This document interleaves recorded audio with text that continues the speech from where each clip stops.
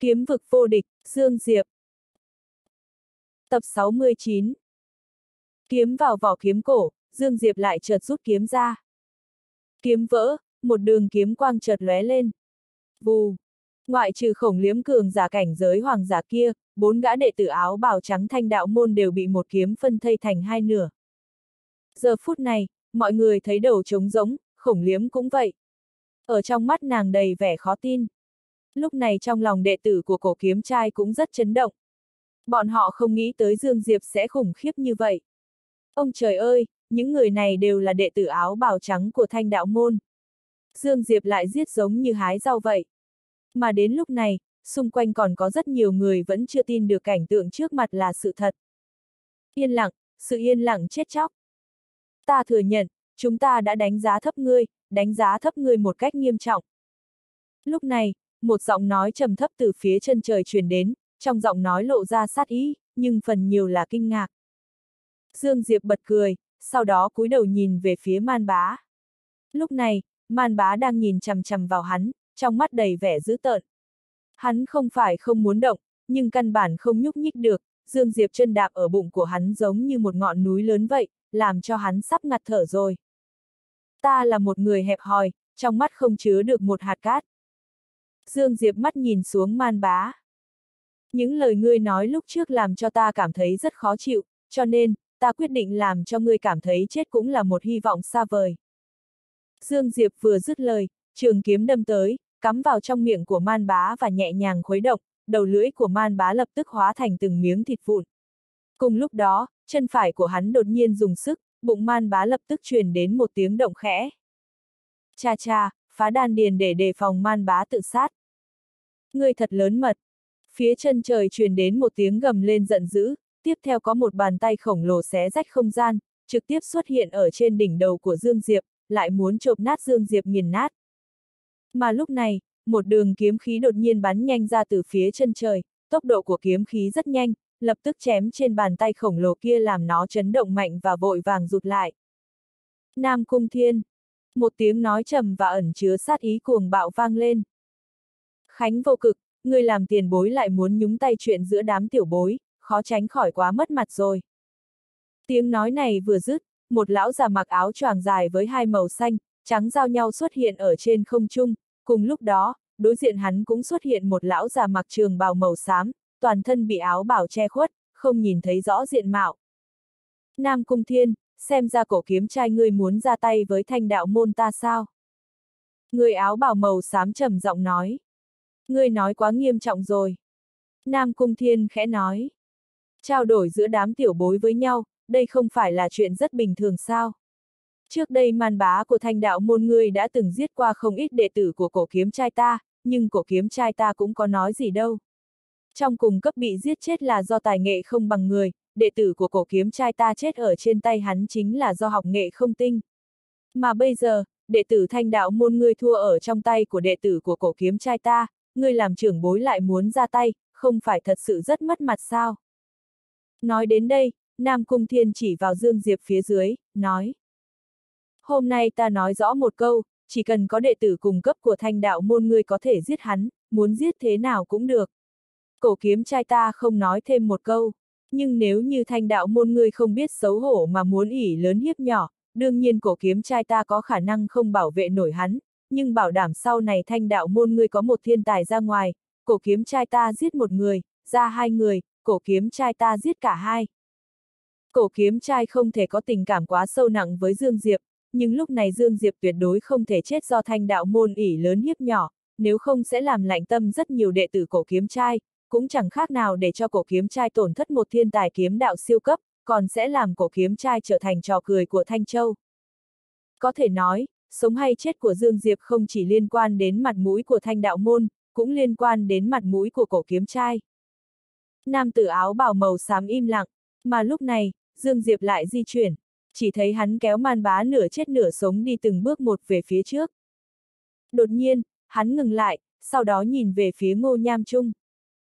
Nói, vẫn mong sư huynh giúp ta mang thi thể của bốn đệ tử của thanh đạo môn theo. Ngô nham trung liếc nhìn Dương Diệp, sau đó khẽ gật đầu. Cứ như vậy, đám người ngô nham chung một người kéo một thi thể đi theo Dương Diệp. Làm càn. Nhìn thấy cảnh tượng như vậy, người áo bào màu xám phía chân trời giận dữ. Mà lúc này, một đường kiếm khí cắt qua chân trời, trực tiếp xuất hiện ở trước mặt của hắn. Khánh Huynh, chúng ta đã lâu không so tài, hôm nay khó gặp được một lần, vậy chúng ta dứt khoát so tài một lần đi.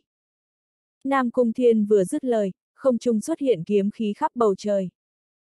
Phía chân trời, hai vị cường giả siêu cấp đại chiến, Dương Diệp không hề dừng bước, vẫn kéo man bá đi từng bước về phía trước mặt. Man bá nhìn Dương Diệp đầy oán độc, hắn muốn cử động, nhưng đã không cử động được. Bởi vì kinh mạch ở hai tay, hai chân hắn đã bị Dương Diệp phế bỏ, thậm chí hắn muốn tự sát cũng không thể tự sát được. Một đường đi có vô số người đi theo, tất cả mọi người tò mò, không biết Dương Diệp rốt cuộc muốn làm gì. Dần dần, mọi người đã phát hiện Dương Diệp định đi đâu. Bởi vì hướng đó chính là thành Minh Vũ Thành. Đúng lúc này, khổng liễm được gọi là tử thần đứng ở trước mặt đám người Dương Diệp. Khổng liễm không nói gì, liềm đao màu đen trong tay nàng điên cuồng xoay tròn, từng khí thế khủng khiếp bắn ra khỏi cơ thể nàng, làm không gian bị kích động dâng lên từng đợt chấn động. Khổng liễm chậm rãi giơ liêm đao lên, chỉ thẳng vào Dương Diệp. Người rất mạnh, ta nhìn ra được lúc trước ngươi tuyệt đối chưa lấy ra hết thực lực thật sự. Ta rất tò mò, ngươi là một cảnh giới tôn giả rốt cuộc mạnh tới mức nào. Lúc này, Ngô Nham Trung đi tới trước mặt Dương Diệp, một thanh kiếm sắt đã xuất hiện ở trên tay hắn. Khổng liếm, ỉ lớn hiếp nhỏ không tính là bản lĩnh gì cả. Ngươi không phải muốn biết thêm về ngu kiếm của ta sao? Bây giờ thử một chút đi. Ngô Nham Trung vừa dứt lời, cũng không đợi khổng liếm từ chối, kiếm sắt trong tay đã đâm tới. Một kiếm này nhìn rất bình thường, đặc biệt bình thường, giống như ăn cơm hay đi lại vậy, không có chỗ nào kỳ lạ cả. Nhưng chính là một kiếm này lại làm cho khổng liễm biến sắc. Kiếm pháp không tệ. Dương Diệp khẽ gật đầu, sau đó kéo man bá tiếp tục đi về phía trước. Sau khi đi mấy bước, hắn đột nhiên dừng lại và nhìn về phía khổng liễm đã bắt đầu chiến đấu kịch liệt cùng ngô nham chung, nói. Nếu ngươi không chết, ta có thể cho người xem thử. Nói xong, Dương Diệp xoay người tiếp tục đi về phía cửa thành. Sau lưng hắn, đệ tử của cổ kiếm trai vội vàng đỡ thi thể người áo bào trắng bị ngô nham trung tha lại dưới đất và theo sau. Làm càn, lại dám sỉ nhục thanh đạo môn ta. Đúng lúc này, một nam tử áo bào màu trắng từ phía xa lao đến. Nhưng hắn còn chưa đi tới trước mặt Dương Diệp đã bị một đường kiếm quang trực tiếp phân thây thành hai nửa. Dương Diệp. Phạm Mộng bỗng nhiên quá khiếp sợ, vội vàng đi tới bên cạnh Dương Diệp. Bởi vì lúc này khóe miệng của Dương Diệp tự nhiên tràn ra máu tươi. Dương Diệp lắc đầu, nói. Không cần phải lo lắng, chỉ là chút chuyện nhỏ thôi. Đúng rồi, nhớ thu hết tất cả nhẫn chứa đồ của những người đã chết, đó đều là bảo bối đấy. Ngươi, ngươi thật sự không có việc gì chứ? Phạm Mộng cũng sắp khóc, bởi vì nhìn Dương Diệp thế nào cũng không giống như không sao. Yên tâm, ta tự biết chừng mực. Dương Diệp mỉm cười, sau đó nhìn về phía một đệ tử của cổ kiếm trai, nói. Vị bằng hữu này, kéo như thế khó tránh khỏi quá phiền toái đi. Người tìm sợi dây sâu thi thể của bọn họ lại với nhau, chẳng phải sẽ bớt việc sao? Ta là Lâm Tiêu. Nam tử kia nói. Ngươi xác định ngươi muốn làm như thế chứ? Dương Diệp khẽ gật đầu, nói. Tất nhiên. Lâm Tiêu nhìn chằm chằm vào Dương Diệp, sau đó khẽ gật đầu. Phẩy. Chỉ trong giây lát, ngoại trừ man bá ra, năm đệ tử áo bảo trắng đã chết của thanh đạo môn đều bị sâu lại với nhau giống như sâu thịt vậy. Nhìn thấy cảnh tượng như vậy, rất nhiều người ở đó hoảng hốt. Đây là muốn sỉ nhục thanh đạo môn à? Không cần phải nói, quan hệ giữa thanh đạo môn cùng Dương Diệp nhất định sẽ không cách nào tốt được. Cứ như vậy, Dương Diệp kéo man bá đi về phía cửa thành. Sau lưng hắn là đám người lâm tiêu kéo một sợi dây. Ở trên sợi dây là thi thể năm đệ tử áo bào trắng của thanh đạo môn. Dương Diệp còn tốt, vẫn bình tĩnh như thế, mà trong lòng bốn người lâm tiêu lại rất xúc động. Cổ kiếm trai cùng thanh đạo môn đã tranh đấu với nhau rất nhiều, hai bên đều từng giết đệ tử của bên kia, cũng từng sỉ nhục đối phương, nhưng sỉ nhục giống như lần này thì vẫn là lần đầu. Lúc này, lo âu trong lòng đám người lâm tiêu còn vượt qua kích động cùng hưng phấn, bởi vì nếu làm không tốt sẽ khiến cổ kiếm trai cùng thanh đạo môn liều mạng với nhau. Nếu như hai thế lực cấp bạch kim đấu với nhau sẽ gây ảnh hưởng đến tất cả Thanh Châu. Cổ kiếm trai, các người tự tìm đường chết. Đúng lúc này, trong đám người phía xa vang lên một giọng nói. Tiếp theo, một người bắn nhanh về phía đám người Dương Diệp. Kiếm tới. Dương Diệp vẫy tay một cái, trong đám người đột nhiên có một thanh kiếm bay ra, thanh kiếm kia hóa thành một đường kiếm quang lao tới trong tay của Dương Diệp. Kiếm được đút vào vỏ và rút ra. Kiếm vỡ, kiếm quang lướt qua, người chết. Cứ như vậy, trên sợi dây lại có thêm một thi thể. Trong đám người, từng đệ tử của thanh đạo môn không ngừng bay ra, trong đó có áo bào trắng, có áo bào đen, cũng có áo bào màu đỏ, nhưng tất cả đều không ngoại lệ, những người này đều bị sâu chuỗi ở trên sợi dây. Bây giờ, trên sợi dây có ít nhất hơn 40 thi thể. Tất cả là đệ tử của thanh đạo môn. Chẳng bao lâu, đám người Dương Diệp đã đi tới cửa thành.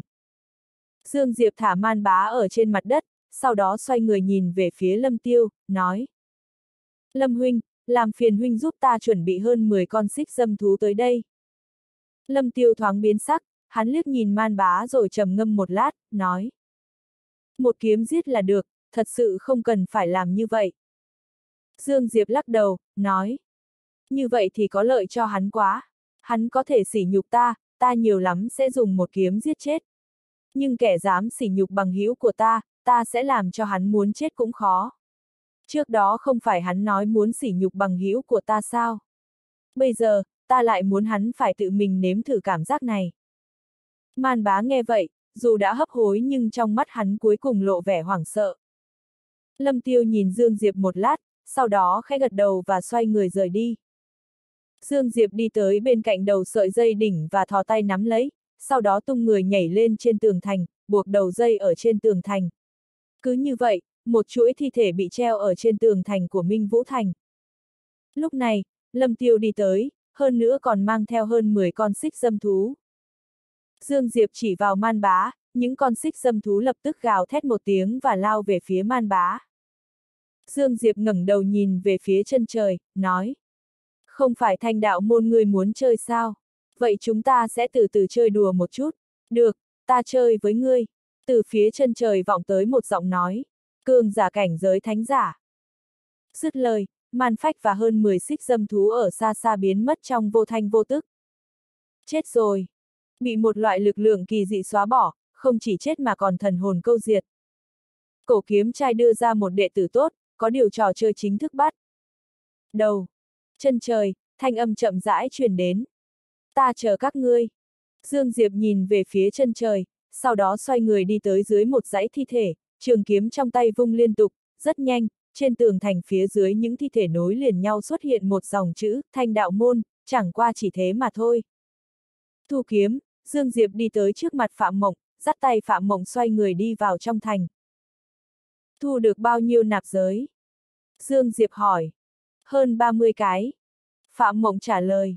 Có bao nhiêu đá năng lượng siêu phẩm? Dương Diệp lại hỏi.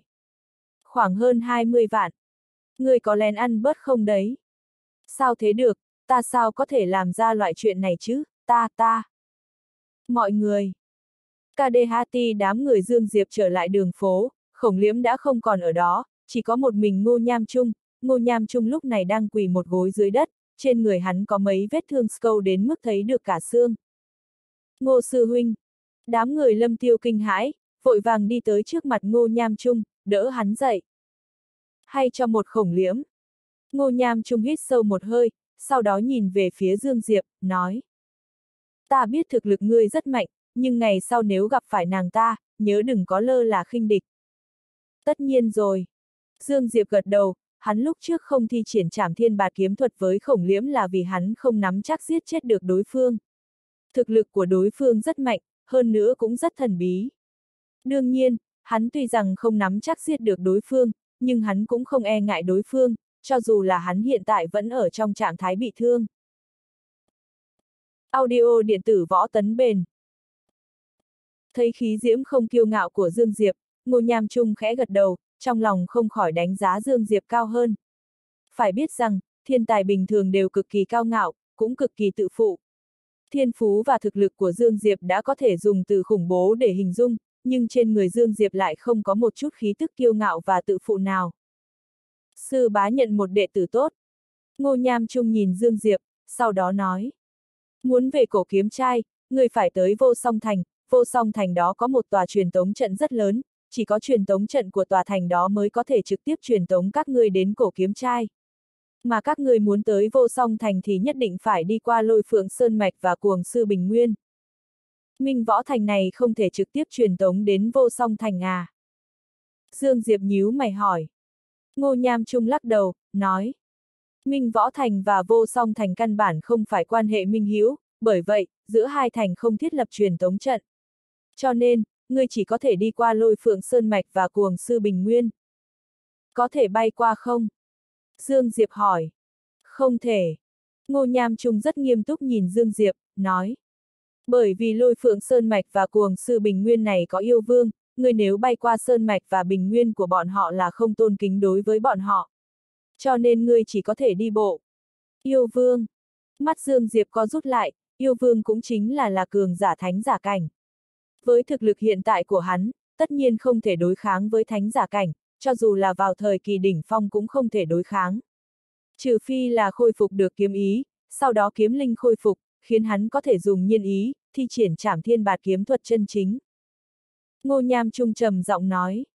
Người yên tâm, yêu vương của lôi phượng Sơn Mạch là bạn cũ của một vị thái thượng trưởng lão cổ kiếm trai ta, hắn chắc sẽ không làm khó dễ người đâu, chỉ sợ cuồng sư Bình Nguyên đó thôi.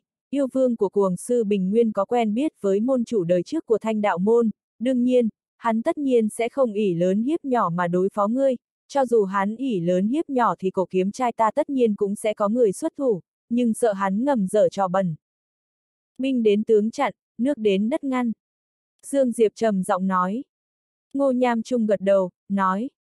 Hiện giờ cũng chỉ có thể như vậy, đúng rồi, người sau khi đến vô song thành, tốt nhất là tới bái phỏng lão thành chủ của vô song thành một chút.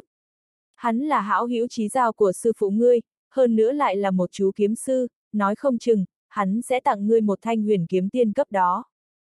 Hảo hữu trí giao của sư phụ. Khóe miệng Dương Diệp hiện ra một nụ cười chua chát, không thể không nói, chuyện này càng lúc càng phiền toái, bởi vì một khi cổ chân nhân xuất quan, vậy hắn sẽ hiện nguyên hình. Khi đó, chuyện sẽ vui rồi. Có điều lúc này hắn cũng chẳng có cách nào khác, chỉ có thể tiếp tục kiên trì giả vờ tiếp thôi. Tấm da hổ cổ kiếm trai không thể không xé xuống được. Ngươi không đi với ta à? Dương Diệp bỗng nhiên hỏi. Ngô Nham Trung lắc đầu, nói. Chúng ta đi với ngươi sẽ chỉ khiến chuyện càng lúc càng phức tạp hơn. Bởi vì một khi chúng ta đi cùng ngươi, việc này có thể sẽ diễn biến thành chém giết tập thể giữa thế hệ trẻ tuổi cổ kiếm trai và thế hệ trẻ tuổi thanh đạo môn, chỉ có ngươi đi một mình, thanh đạo môn muốn báo thù cũng chỉ có thể gửi từng người một tới tìm ngươi. Dương Diệp gật đầu, sau đó kéo Phạm Mộng tới trước mặt, nói. Ngô huynh, chuyến đi này ta lo lắng nhất chính là hai tỷ muội bọn họ, có thể để bọn họ đi theo các ngươi không? Ta hy vọng Ngô huynh có thể đưa bọn họ tới cổ kiếm trai, bởi vì chỉ có cổ kiếm trai mới có thể đảm bảo an toàn cho tỷ muội bọn họ. Ta muốn đi theo ngươi. Phạm Mộng lập tức không nguyện ý, vội vàng ôm lấy Dương Diệp Dương Diệp. Môi Phạm Ly mấp máy, nhưng lại không nói gì. Dương Diệp xoa đầu Phạm Mộng, nói. Người đi theo ta, chỉ tổ làm liên lụy tới ta thôi, hiểu chưa? Ta. Nước mắt ủy khuất của Phạm Mộng tuôn rơi. Dương Diệp nói. Trên đường đi ngươi cũng thấy rồi đấy, kẻ địch của ta rất cường đại, ta không biết bọn họ tiếp theo sẽ cử người nào đến, nhưng không nghi ngờ gì nữa, khẳng định sẽ không phải kẻ yếu. Dẫn theo ngươi, ta mặc dù có lòng tin, nhưng ta trung quy vẫn chỉ có một mình, vạn nhất người rơi vào tay bọn họ, khi đó người bảo ta phải làm thế nào. Phạm Mộng cúi đầu. Dương Diệp lại nói. Trong khoảng thời gian này đã trải qua nhiều chuyện như vậy, người nên hiểu rõ một chuyện. Ở thế giới này, muốn sống sót, muốn sống tốt, chúng ta chỉ có dựa vào thực lực của bản thân. Ngươi hiện tại rất yếu, yếu vô cùng, yếu đến mức cần tỷ tỷ ngươi và ta để bảo hộ, ngươi chẳng lẽ muốn cả đời như vậy như vậy sao? Một lúc sau, Phạm Mộng ngẩng đầu nhìn Dương Diệp, chỉ là trên mặt đã có thêm hai hàng nước mắt. Ngươi, ngươi đáp ứng ta, nhất định phải tới cổ kiếm trai, nhất, nhất định phải. Nhất định. Dương Diệp cười cười, sau đó nhìn về phía Phạm Ly, nói sau khi tới cổ kiếm trai đừng chiều chuộng nàng ta quá, để nàng ta chịu khổ một chút. Đúng rồi, nếu Lục Uyển Nhi đó xuất quan, dẫn Tiểu Mộng đến tìm nàng ta, cứ nói là ta bảo các ngươi tới, nàng ta sẽ chiếu cố cho các ngươi. Phạm Ly gật đầu, sau đó nói. Phải sống sót đó. Dương Huynh quen lục sư tỷ à? Lúc này, Ngô Nham Trung đột nhiên hỏi. Cũng coi như là có quen biết. Dương Diệp nói. Ngô Nham Trung nhìn Dương Diệp, sau đó nói. Lai lịch của lục sư tỷ này có chút thần bí, không ai biết nàng ta từ đâu tới, cũng không nghe nói nàng ta có bằng hữu, không ngờ Dương Huynh và nàng ta lại quen biết nhau. Dương Diệp cười cười, không tiếp tục đề tài này nữa, nói. Làm phiền Ngô Huynh chiếu cố cho họ rồi. Không thành vấn đề. Ngô Nham Trung do dự một thoáng, sau đó lại nói. Dương Huynh chưa có bội kiếm thích hợp phải không? Dương Diệp gật đầu, nói thật, cho tới bây giờ, hắn thật sự chưa có kiếm thích hợp, kiểm tổ cũng lợi hại, nhưng vấn đề là kiếm này hắn tạm thời căn bản không thể dùng được. Thấy Dương Diệp gật đầu, tay phải ngô nham trung vung lên, một hộp kiếm màu đen xuất hiện trước mặt Dương Diệp, nói. Dương Huynh, trong hộp kiếm chính là tích lũy của ta mấy năm nay, có trăm thanh huyền kiếm đạo cấp, hy vọng có trợ giúp đối với ngươi. Dương Diệp nhìn ngô nham trung, sau đó tiếp lấy hộp kiếm, nói. Đa tạ, ân tình này ta ghi nhớ. Ngô nham trung cười ha ha, nói. Đây cũng không phải là tặng không ngươi, nhớ kỹ, phải trả lại đó, ta chờ ngươi trả. Nhất định rồi. Nói xong, Dương Diệp nhìn Phạm Mộng, sau đó xoay người bước về phía cửa thành. Phạm Mộng muốn nói gì đó, nhưng ngay lập tức, Dương Diệp đã biến mất trong tầm mắt nàng ta. Phạm Mộng ngẩn ra, sau đó nói. Tỷ, hắn nhất định có thể sống sót, đúng không? Phạm Ly gật đầu, nói. Nhất định. Sư huynh, người cảm thấy hắn và lục sư tỷ thì ai mạnh hơn? Lâm Tiêu đột nhiên hỏi. Ngô Nham Trung trầm mặc một lúc, sau đó nói. Ta không nhìn thấu người này, người cũng thấy đấy, hắn không lĩnh ngộ kiếm ý, nhưng kiếm khí lại không hề yếu hơn người lĩnh ngộ kiếm ý như chúng ta. Hắn rất thần bí, cũng rất cường đại, mà lục sư tỷ, lục sư tỷ lúc này chắc đã là kiếm ý thiên cấp nhị trọng rồi. Hơn nữa, lúc này lục sư tỷ chắc cũng sắp thành bán thánh, cho nên, giữa bọn họ căn bản là không thể so bì. Dương Diệp khẳng định mạnh hơn Lục Uyển Nhi. Phạm Mộng bỗng nhiên nói. Vì sao? Ngô Nham Trung rất có hứng thú hỏi. Trực giác. Phạm Mộng nói. Đám người Ngô Nham Trung nhìn nhau, sau đó lắc đầu cười cười. Sau khi ra khỏi Minh Võ Thành, Dương Diệp đi vào sâu trong núi, sau đó tìm tới một sơn động. Bên trong sơn động, Dương Diệp ngồi xếp bằng, máu tươi không ngừng từ khóe miệng hắn trào ra. Lúc trước đừng nhìn hắn giết người như giết gà, kỳ thật hắn cũng phải trả giá cực lớn. Bởi vì lúc trước hắn thi triển trảm thiên bạt kiếm thuật, ít nhất cũng là trên 10 đạo chồng nhau. Cộng với hai loại bí pháp trí mệnh nhất kích và quang chi kiếm tốc. Cho nên hắn mới có thể một kiếm giết một người. Phản phệ, hắn tất nhiên bị phản phệ, kinh mạch trong cơ thể mở càng rộng, nhục thân sẽ xuất hiện nhiều vết nứt, không chỉ nhục thân, ngũ tạng lục phủ của trong cơ thể cũng nứt ra. Có thể nói, thân thể hắn trước đó đã là mình đầy thương tích, chỉ có điều hắn cố chịu đựng, không thể hiện ra ngoài. Dương Diệp lấy ra đá năng lượng siêu phẩm, bắt đầu hấp thu điên cuồng. Đúng lúc này, hai mắt Dương Diệp đột nhiên mở ra, nhìn về phía động khẩu, nơi đó, không biết từ khi nào có một người đang đứng. Không ngờ là ngươi. Đồng tử Dương Diệp co rút lại. Người đứng ở cửa động là một nữ tử, hai chân không chạm đất mà bồng bềnh trên không. Nữ tử mặc váy dài màu trắng, da thịt như tuyết, hai mắt giống như nước mùa thu, đứng ở cửa động mà tỏa ra một cỗ khí chất thanh nhã lãnh ngạo, khiến cho người ta không khỏi bị thu hút, tự thấy xấu hổ, không dám thiết độc. Đương nhiên, quan trọng nhất nữ tử này là thánh giả cảnh. Quan trọng hơn là Dương Diệp biết nữ tử này, chính là tổ sư Mục Hàn San của Bách Hoa Cung. Không ngờ người còn sống. Mục Hàn San nói, thanh âm lạnh như băng, hơn nữa còn ẩn chứa một tia sát ý. Khiến người thất vọng à? Dương Diệp lạnh lùng nói, có chút thất vọng. Mục Hàn San nói. Dương Diệp trầm mặc hồi lâu, sau đó nói. Tới tìm ta làm gì thế? Đối phương đương nhiên không thể là tới giết hắn, bằng không, hắn căn bản không có cơ hội nói chuyện. Mục Hàn San nhìn Dương Diệp một lúc, nói. Thiên địa sụp đổ, thế giới hủy diệt, người rốt cuộc làm thế nào mà sống sót? Nếu ta nói ta cũng không biết tỷ người có tin không? Dương Diệp nói. Mục Hàn San nhìn Dương Diệp, không nói gì. Dương Diệp lại nói. Ngày đó, sau khi ta một kiếm chém vỡ mắt thiên đạo, ta ly sền rơi vào hôn mê, ta. Ngươi chém vỡ mắt thiên đạo. Mục Hàn San đột nhiên cắt ngang lời Dương Diệp. Dương Diệp gật đầu. Không thể nào. Mục Hàn San trầm giọng nói. Mắt thiên đạo đó dù là ta cũng căn bản không thể lay động nó, người lúc trước chỉ là hoàng giả cảnh, người cho dù đang nghịch thiên thì cũng không thể diệt được nó. Dương Diệp đột nhiên đứng lên, sau đó đi tới trước mặt Mục Hàn San, nói. Người có biết thế giới huyền giả đại lục của chúng ta đã chết bao nhiêu cường giả không? Hơn một ngàn thánh giả, ước chừng có hơn một ngàn thánh giả tự bạo, cường giả bán thánh và cường giả hoàng giả cảnh thì lại nhiều vô số kể. Tuy rằng huyền giả nghịch trùng và thánh địa đều từng coi hắn là kẻ địch, nhưng Dương Diệp hiểu rất rõ, nếu không phải nhờ sự hy sinh của những người đó và đám người mạc lão, hắn căn bản không thể chém vỡ mắt thiên đạo. Hơn một ngàn thánh giả. Mục Hàn San nhướng mày, nói. Không thể, không có bản nguyên tử khí, người bên dưới căn bản không thể thành thánh. Ngươi cảm thấy ta có cần thiết phải lừa ngươi hay không?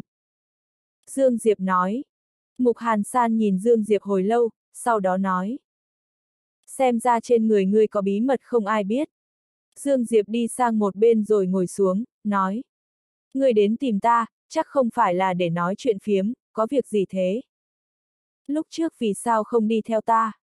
Mục Hàn San bỗng nhiên nói. Dương Diệp nói. Ở đó, có người ta muốn thủ hộ, tuy rằng ta cuối cùng không thể thủ hộ bọn họ, nhưng ta ở lại, ta đã tận hết sức của mình rồi. Ngươi có biết không? Mục Hàn San nói. Nếu lúc trước ngươi lựa chọn đi theo ta, ta sẽ giết ngươi. Vì sao? Dương Diệp hỏi. Mục Hàn San nói. Nam nhân, có thể yếu, có thể xấu, cũng có thể không quyền không thế, nhưng tuyệt đối không thể không có cốt khí, không có tôn nghiêm, không có trách nhiệm.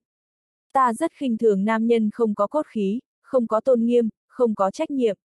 Lúc trước bảo ngươi đi theo ta, ta không hề có hảo tâm, bởi vì nếu ngươi đi theo ta, ta có thể không thẹn với lương tâm mà giết ngươi. Đáng tiếc, ngươi không đi. Ngươi muốn nói gì? Dương Diệp nói. Mục Hàn San nói. Bất kể ngươi và ta lãnh đạm và bình tĩnh với nhau như thế nào, nhưng giữa ngươi và ta ở sâu trong lòng có bóng dáng của đối phương là chuyện không thể thay đổi. Tơ hồng mà tiểu cô nương đó của ngươi kết cho chúng ta đã siêu việt thiên đạo pháp tắc, cho nên ta căn bản không phá giải được. Chuyện này một mực vây khốn ta, khiến tu vi của ta không thể tiến thêm nửa bước, tới tìm ngươi là để giải quyết vấn đề này. Ta cũng không phá giải được. Dương Diệp nhìn Mục Hàn San, nói. Nói thật đó. Tiểu cô nương đó đâu rồi? Mục Hàn San hỏi. Nàng ta xảy ra chút chuyện, tạm thời không thể ra ngoài được. Dương Diệp nói. Mục Hàn San nhìn Dương Diệp, không nói gì. Dương Diệp cũng nhìn Mục Hàn San, nói. Không thể phủ nhận, người rất khá, thực lực cũng rất mạnh, nhưng ta không thể đê tiện tới mức mặt dày mày dạn nương tựa vào ngươi. Thực lực yếu thì phải nhún mình một chút. Mục Hàn San nói. Dương Diệp nói.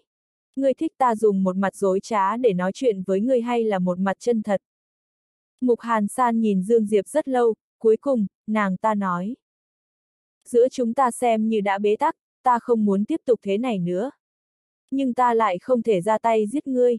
Như thế này đi, chúng ta đánh cuộc một trận, nếu ta thua, ta làm của ngươi nữ nhân, nếu ta thắng, ngươi chết, thế nào? Ngươi không can thiệp ta, ta không can thiệp ngươi có phải tốt hơn không? Dương Diệp nói. Mục Hàn San nói. Đến trình độ này của ta, khi muốn tăng cảnh giới, bất kỳ một chút tâm niệm không thuận nào đều có thể là vạn kiếp bất phục.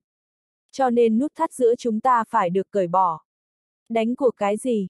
Dương Diệp nói. Mục Hàn San nói. Cho ngươi thời gian 2 năm, sau 2 năm tới tìm ta, đồng thời đánh bại ta, sau đó ta đi theo ngươi. Dương Diệp lắc đầu. Ngươi cự tuyệt à? Mục Hàn San nói. Ta cự tuyệt. Dương Diệp nhìn thẳng vào Mục Hàn San. Ta không thích bị người khác uy hiếp, hoặc là ép buộc. Hơn nữa giữa người và ta không có tình cảm, có chăng chỉ là do sợi tơ hồng đó quấy phá, cưỡng ép ở cùng một chỗ, không thú vị. Nói cứ như người nhất định có thể đánh bại ta không bằng. Mục Hàn San nói. Dương Diệp nói. Người muốn giải quyết vấn đề sợi tơ hồng đó, được thôi, bởi vì ta cũng muốn giải quyết vấn đề đó.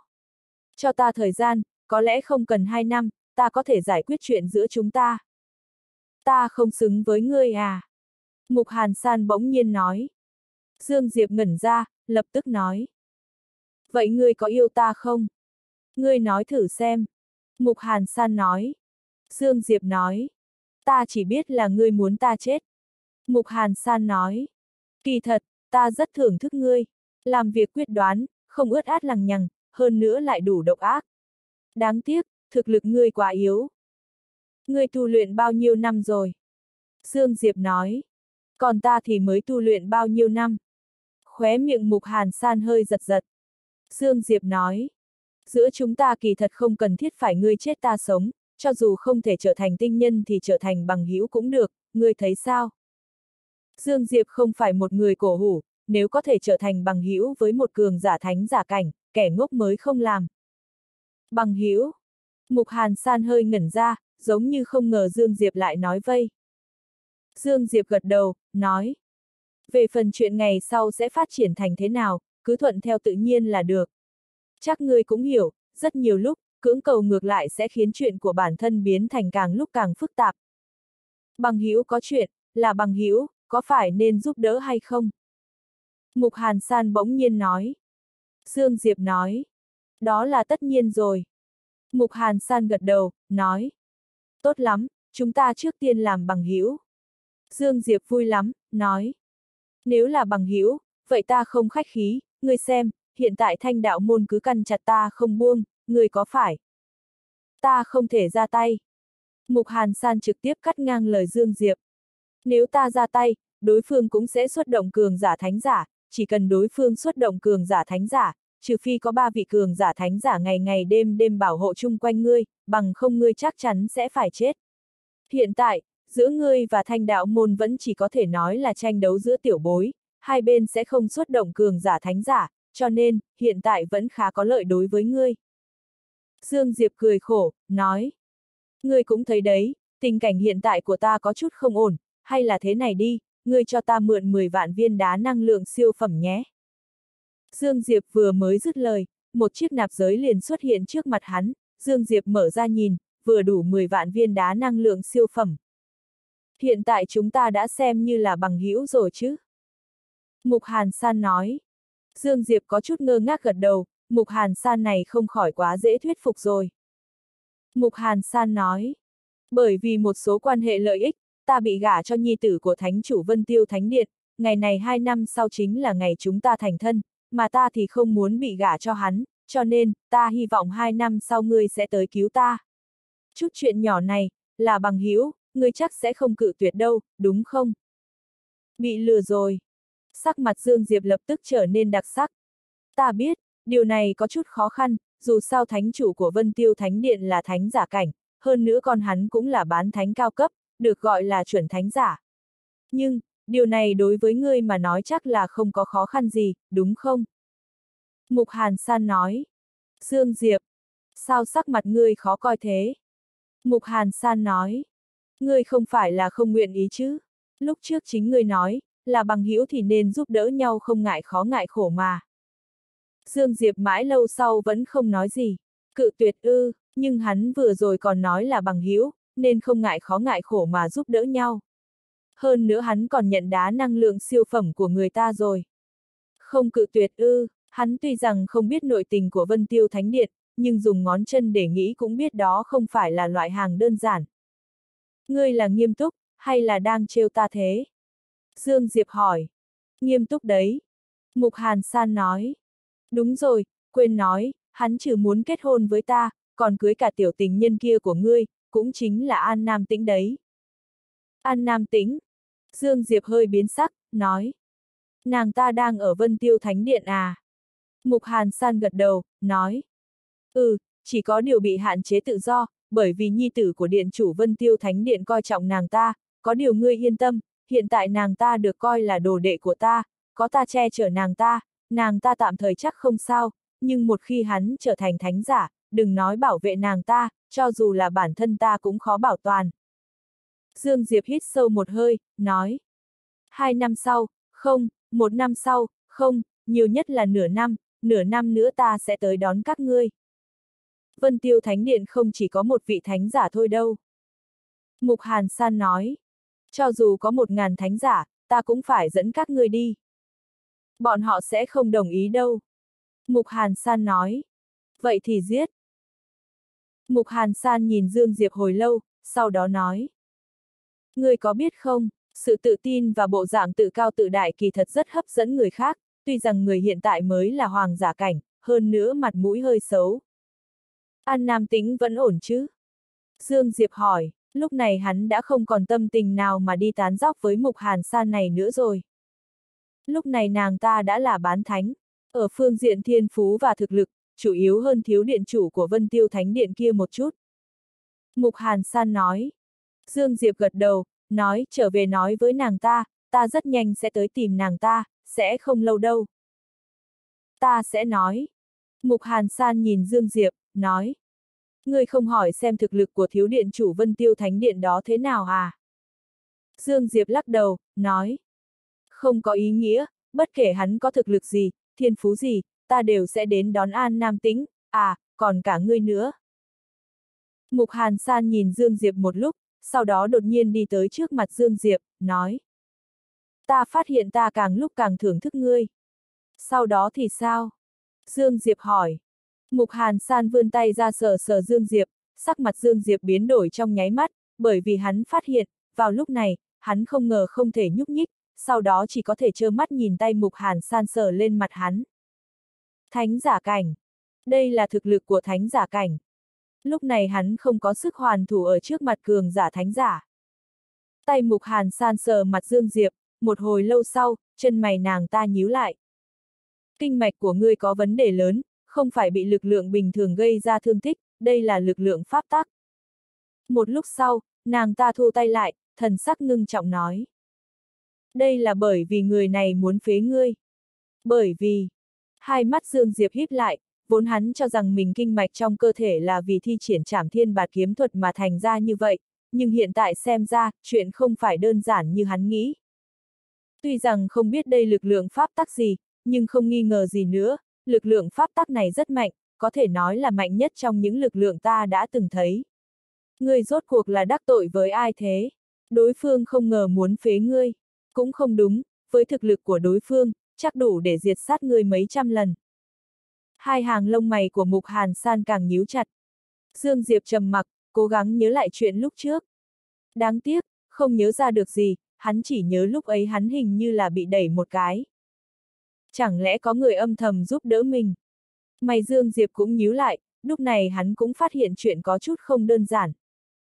Với trạng thái hiện tại này của ngươi, đến Vân Tiêu Thánh Điện chính là tìm chết. Mục Hàn San trầm giọng nói. Dương Diệp không nghĩ nữa, nói. Chuyện kinh mạch ta sẽ tự mình giải quyết. Hơn nữa ta sẽ cố gắng khôi phục thực lực một cách nhanh nhất, tin ta đi, rất nhanh ta sẽ tới tìm các ngươi. Mục Hàn San nhìn thẳng vào Dương Diệp một hồi lâu, sau đó nói. Địa vực Thanh Châu rộng lớn, nói là vô biên vô hạn cũng không đủ. Tại Thanh Châu này chia làm hai danh giới Nam Bắc, Bắc giới là địa bàn của cổ kiếm trai và thanh đạo môn, mà Nam giới thì là địa bàn của vô cực ma tông và Vân Tiêu Thánh Điện. Ngươi nếu muốn tới Vân Tiêu Thánh Điện nhất định phải đến Nam giới. Nói đến đây, Mục Hàn San dừng một chút rồi lại nói. Với sức của một mình ngươi, muốn chống lại Vân Tiêu Thánh Điện không nghi ngờ gì nữa là người si nói mộng, cho nên, người tốt nhất hãy mượn dùng lực lượng của cổ kiếm trai. Tuy rằng cổ kiếm trai so với Vân Tiêu Thánh Điện thì vẫn yếu hơn một chút, nhưng tranh lệch không lớn, nếu ngươi có thể khiến cổ kiếm trai giúp đỡ ngươi, ngươi có lẽ sẽ có cơ hội dẫn ta và An Nam tĩnh đi. Ta căn bản không phải đệ tử của cổ kiếm trai. Dương Diệp nói. Vậy trở thành đệ tử của cổ kiếm trai đi. Mục Hàn San nói. Còn nữa, đừng khinh thị thanh đạo môn đó, họ ở linh giới này đã truyền thừa mấy vạn năm, nội tình có thể dùng sâu không lường được để hình dung. Những người lúc trước chết trên tay ngươi, trong thanh đạo môn của bọn họ chỉ có thể nói là hạng quen. Hạng quen. Hai mắt Dương Diệp híp lại. Ý của ngươi là lúc trước thanh đạo môn chỉ là chơi đùa với ta. Mục Hàn San lắc đầu, nói.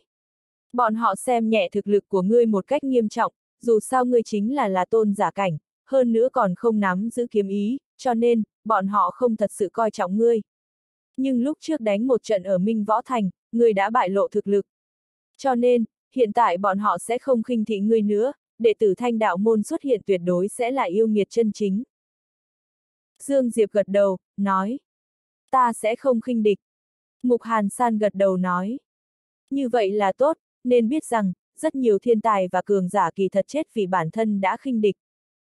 Người có biết nơi hạ lạc của đám người minh nữ, đinh thược dược không? Dương Diệp đột nhiên hỏi. Mục Hàn San nhìn Dương Diệp, trầm mặc. Bọn họ đã xảy ra chuyện à? Hai tay Dương Diệp chậm rãi nắm chặt lại. Mục Hàn San lắc đầu, nói. Không, chỉ là, chờ khi ngươi có thể tới đón chúng ta, ta sẽ nói cho ngươi hay. Dương Diệp cau mày, có điều hắn không hỏi nữa. Hắn biết, những thiên tài lúc trước được người của thiên ngoại thiên đón lên đây, tình cảnh ở thiên ngoại thiên này chỉ sợ không được ổn lắm. Thực lực, khôi phục thực lực. Dương Diệp hít sâu một hơi, hắn biết, mình phải nhanh chóng khôi phục thực lực, không chỉ vậy, còn phải nhanh chóng đạt tới bán thánh, thậm chí là thánh giả. Lúc trước ở huyền giả đại lục, hắn còn có đám người mạc lão và lục ngôn che chở, nhưng hiện tại, hắn chỉ có thể dựa vào chính mình. Đến sớm một chút, bằng không nữ nhân của ngươi có thể sẽ trở thành nữ nhân của người khác đấy. Mục Hàn San nói xong câu đó, cả người biến mất trong hư không ở sơn động. Mình vẫn quá yếu, phải mau chóng để thăng thực lực, khôi phục kiếm ý, để thăng tới thánh giả. Dương Diệp hít sâu một hơi, sau đó ngồi xếp bằng dưới đất, bắt đầu điên cuồng hấp thu đá năng lượng siêu phẩm. Lúc này hắn trên người chỉ có khoảng chừng gần 40 vạn viên đá năng lượng siêu phẩm, chỗ này đủ để hắn để thăng nhục thân rồi. Về phần cảnh giới, hắn quyết định không cường hành đề thăng, mà là muốn để nó nước chảy thành sông. Nước chảy thành sông, cũng chính là bản thân tích tụ đến trình độ nhất định, cảnh giới tự nhiên sẽ đề thăng theo, chứ không phải đề thăng một cách cưỡng ép. Hiện tại, mục tiêu chủ yếu nhất của hắn chính là đề thăng nhục thân một cách vô hạn, bởi vì chỉ có nhục thân mạnh mẽ, hắn mới có thể thi triển nhiều đạo trảm thiên bạt kiếm thuật chồng nhau hơn, cũng có thể thi triển trảm thiên bạt kiếm thuật một cách chân chính. Bằng không, thi triển một lần trảm thiên bạt kiếm thuật, người tàn phế một lần, vậy thì toi. Đương nhiên, trừ đề thăng nhục thân, còn có một chuyện quan trọng hơn, đó chính là nuôi nấng tiểu tuyển qua. Từng viên đá năng lượng không ngừng bị Dương Diệp nuốt vào, vô số đá năng lượng chuyển hoán thành huyền khí màu tím bị chia làm hai cỗ, một cỗ chữa trị nhục thân của bản thân hắn và ôn dưỡng kinh mạch và ngũ tạng lục phủ đã nứt, cỗ còn lại thì bị tiểu tuyền qua hấp thu. Cứ như vậy, thời gian trôi qua, đá năng lượng của Dương Diệp cũng đang không ngừng giảm bớt, từ 40 ban vạn đầu chỉ còn lại 30 vạn. 40 vạn viên đá năng lượng siêu phẩm này kỳ thật đủ để người bình thường từ phàm nhân cảnh dùng tới bán thánh. Nhưng đối với Dương Diệp mà nói lại vẫn ít, bởi vì đá năng lượng siêu phẩm này nếu chuyển đổi bình thường thì có thể chuyển đổi thành 100 cỗ huyền khí, nhưng nếu chuyển đổi thành huyền khí màu tím trong cơ thể Dương Diệp, nhiều nhất cũng chỉ có được 10 cỗ. Huyền khí màu tím sở dĩ mạnh, chính là vì nó tinh thuần, không chứa tạp chất. Nháy mắt đã hai ngày trôi qua, đá năng lượng siêu phẩm của Dương Diệp lại từ 30 vạn biến thành 10 vạn. Thương thế nhục thân của hắn cơ bản đã khôi phục, nhục thân dưới sự chữa trị của huyền khí màu tím đã tăng lên một bậc, lúc này nhục thân của hắn đã có thể so với yêu thú bán thánh trung cấp. Không chỉ như vậy, hắn còn cảm thấy mình đã đạt tới tôn giả cảnh đỉnh phong, tùy thời có thể đột phá đến hoàng giả cảnh. Tuy rằng nhục thân đề thăng, nhưng tiểu tuyền qua lại không có động tĩnh. Lại một ngày trôi qua, cắn nuốt 40 vạn viên đá năng lượng siêu phẩm, tiểu tuyền qua vẫn không hề có động tĩnh, điều này khiến cho Dương Diệp thật sự có chút nghẹn lời. Bởi vì một khi tiểu tuyền qua khôi phục, hắn có thể lập tức chữa trị kinh mạch bản thân, hơn nữa cũng có thể lập tức lấy đám bảo bối chấn giới thạch, man thần trùy ra dùng. Khi đó, đừng nói đến tôn giả cảnh, cho dù là bán thánh cao cấp của thanh đạo môn cũng không ngăn được hắn đi tới cổ kiếm trai. Không ở lại nữa, Dương Diệp ra khỏi sơn động, sau đó nhìn lướt bốn phía, nói. Quên mất, lúc trước ở Minh Võ Thành không kiếm một chiếc vân câu. Hắn không thể vận dụng huyền khí, cũng có nghĩa là hắn không thể phi hành, chỉ có thể dựa vào lực lượng nhục thân mà chạy, nếu gần thì không nói làm gì, nhưng vấn đề là nơi này cách vô song thành này ít nhất cũng phải trăm vạn dặm đường. Hơn nữa, nếu một đường chạy như điên, hắn không thể tĩnh tâm tu luyện. Một lúc sau, hắn ngẩng đầu nhìn về xa xa, đập vào mắt vẫn là những dãy núi cao vút trong mây. Bên trong dãy núi, hắn có thể cảm nhận được mấy đạo khí tức cường đại, có điều không phải là của thánh giả. Sắc mặt Dương Diệp hơi trầm xuống, hắn biết, với thực lực hiện tại của hắn, căn bản không cảm nhận được cường giả thánh giả cảnh. Đột nhiên, Một trận tiếng vó ngựa đột nhiên từ xa truyền đến, rất nhanh, một đám người xuất hiện trong tầm mắt Dương Diệp. Một đội kỵ binh, có 20 người, toàn bộ là hoàng giả cảnh.